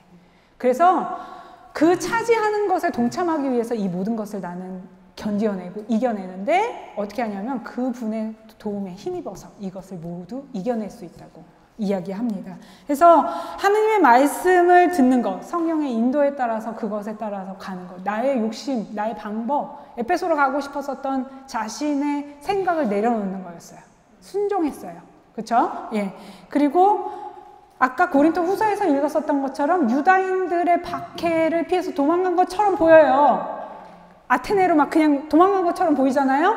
그런데 아까 보면 뭐라 그래요? 그럼 매를 다섯 차례나 맞았고, 돌, 돌, 돌질을 세 번이나 당했고, 예, 파선당했고, 이런 표현들이 나옵니다. 굶주림을 당했고, 사람들한테 폐를 끼치지 않기 위해서 나는 밤낮으로 일했다. 이런 표현이 나옵니다. 아까 제가 시작할 때도 얘기했지만, 하나님은 당신의 복음 선포가 이루어질 때까지 죽이지 않아요. 좀 고달플 뿐이야, 우리가. 우리가 좀 고달플 뿐입니다. 죽지는 않습니다. 왜냐하면 그, 그 일이 이루어져야 되거든요. 성모님께서는 죽을 걸 알고 죽음을 감수하고 예수님의 잉태를 받아들이셨어요. 그 일이 밝혀질 때 그 이의 일은 어떻게 될까? 내가 안 죽겠지. 이거였을까요? 아니요. 죽을 거 아셨을 거예요. 요셉에게 배, 말하자면 요셉이 나를 버리겠구나. 라는 것에 대해서 알았을 거예요. 그러나 그 모든 일은 성령께서 원하시는 일이었기 때문에 그것을 받아들였고 그분께서 주관해 가셨습니다. 근데 말씀드린 것처럼 그 이루어질 때까지, 그 일이 이루어질 때까지 하느님이 우리를 죽이지 않으신다는 거예요. 로, 아까 나, 나중에 볼 거예요. 어, 로마에 갈 때까지 죽지 않을 거라는 말씀을 해요. 그 파선당했을 때. 예, 그런 것을 통해서 지금의 우리에게는 이 어려움이 모욕적일 수도 있고 수모를 당하는 것처럼 느껴질 수도 있고 굶주림처럼 정말 아, 비참함 속에 있을 수도 있습니다. 그런데 우리한테 원하시는 것은 인내함이에요. 인내함. 그것을 통해서 우리는 뭐를 할 수 있냐면 부활할 수 있습니다. 내가 변화될 수 있습니다. 그래서 나의 방법이 내려놔지고 성령의 인도에 따라서 갈 수 있습니다. 그때 뭐를 체험하게 되냐면요. 하느님께서 하셨구나. 아, 이 일은 하느님께서 하셨구나. 라는 거를 우리가 알게 됩니다. 그래서 그때는 아, 내가 이 일을 하는데 이거 내가 한 게 아니구나. 아, 이게 하느님이 하셨구나. 라고 우리는 알게 됩니다. 그래서 사도 바울은 자신 안에 가시가 있었다고 표현을 합니다. 그래서 그것을 없애달라고 세 번이나 기도했다. 근데 그 세 번이 세 번만 기도했다는 게 아니라요. 엄청, 어, 세 번은 완전수예요, 완전수. 그만큼 많이 기도했다는 거예요. 그렇죠? 우리는 여기만 아파도 주님 이렇게 좀 낫게 해주세요. 그리고 오랜 동안 병을 갖고 있다라는 거예요. 그거는 정말, 예, 너무나 고통스럽거든요. 어, 아파 보신 분들만 알아요. 내가 육체적인 병 안에서 겪는 고통. 정말 낫고 싶은데 그것이 사도 바로한테는 하느님께서 그냥 남겨두신 너는 은총을 충분히 받았어. 이미 넉넉히 받았어. 그러면서 너가 약할 때 나의 강함이 드러난다. 라는 표현을 하셨습니다.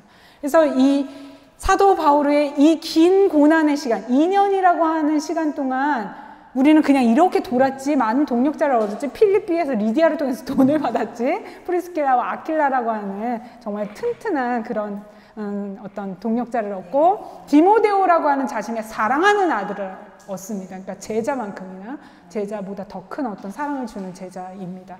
그런 사람을 얻었지만 그것은 하느님의 위로예요. 위로. 그렇죠? 그럼 위로가 없이는 어떻게 가겠어요? 우리들도 우리들의 삶 안에서 어떤 고통과 고난 가운데 하느님의 위로가 있습니다. 그런데 그 위로를 통해서 우리는 뭘 또 할 수 있냐면 다시 힘을 내서 복음을 선포할 수 있습니다. 그래서 마지막에 우리 이제 고린토 1서, 2서, 음, 고린토 2서 어, 1장 한번 가보겠습니다. 고린토 2서 찾으셨어요? 예, 고린토 2서 둘째 서간에 1장에 보시면 환난과 하느님의 위로가 있습니다. 그쵸? 예, 우리 요거 음, 9절까지 저희 읽고 마무리하도록 하겠습니다. 우리 주 예수 그리스도의 하느님 아버지 하느님께서는 참미 받으시기를 빕니다. 그분은 인자신 아버지시며 모든 위로의 하느님이십니다. 하느님께서는 우리가 환난을 겪을 때마다 위로해 주시어 우리도 그분에게서 받는 위로로 온갖 환난을 겪는 사람을 위로할 수 있게 하십니다. 그리하여 그리스도의 고난이 우리에게 넘치듯이 그리스도를 통하여 내리는 위로도 우리에게 넘칩니다. 우리가 환난을 겪는 것도 여러분이 위로와 구원을 받게 하려는 것이고 우리가 위로를 받는 것도 여러분이 위로를 받게 하려는 것입니다. 이 위로는 우리가 겪는 것과 똑같은 고난을 여러분도 견디어 나갈 때 그 힘을 드러냅니다. 우리가 여러분에게 거는 희망은 든든합니다. 여러분이 우리와 고난을 함께 받듯이 위로도 함께 받는다는 것을 알기 때문입니다. 형제 여러분, 우리가 아시아에서 겪은 환난을 여러분도 알기를 바랍니다. 우리는 너무나 힘겹게 짓눌린 나머지 살아날 가망도 없다고 여겼습니다. 사실 우리는 이미 사형 선고를 받은 몸이라고 느꼈습니다. 그러나 그것은 우리가 자신을 신뢰하지 않고 죽은 이들을 일으키시는 하느님을 신뢰하게 하시려는 것이었습니다. 하느님께서는 고난의 길 가운데 환난 가운데 위로를 주세요. 근데 그 위로를 통해서 다른 사람을 더 위로하기 위함이고 우리에게 환난을 주시기도 하지만 그 환난을 통해서 뭐냐면 같은 고난을 간그 그 고난을 여러분들이 겪을 때 그 힘이 더 이런 고통이 나한테 왜 왔는가? 라고 하는 것에 대해서 그것을 알게 되는 어떤 것입니다. 그런데 우리가 죽기만 내버려 두는 게 아니라 하나님께서 위로도 함께 하신다는 거예요. 그러면서 이렇게 얘기합니다. 이미 사형 선고를 받은 몸이라 우리는 느꼈습니다. 그런데 그것은 우리가 자신을 신뢰하지 않고 죽은 이들을 일으키시는 하느님을 신뢰하기 위한 것이었다. 예, 하느님의 방법에 신뢰하십시오. 우리는 하느님의 구원 사업이 이 땅에서 이루어질 때까지 죽지 않아요. 좀 고달플 뿐이지. 그러나 그분께 신뢰한다면, 아, 그분께서 하신 일이구나. 아, 이 십자가에 대해서 내가 어떻게 받아들여야 하는지 그 십자가의 길이 보입니다. 그래서 여러분들의 그 환란이 하느님 안에서 다시 위로를 받고 그 위로로 다른 사람들을 위로하고 또 그리고 하느님께서 하신 일이라는 걸 하느님의 영광을 드러내는 일이 되시기를 예, 여러분들 그 안에서 의미를 찾기를 축복합니다. 예, 영광송 하겠습니다. 영광이 성부와 성자와 성령께. 성부와 성자와 성령의 이름으로 아멘.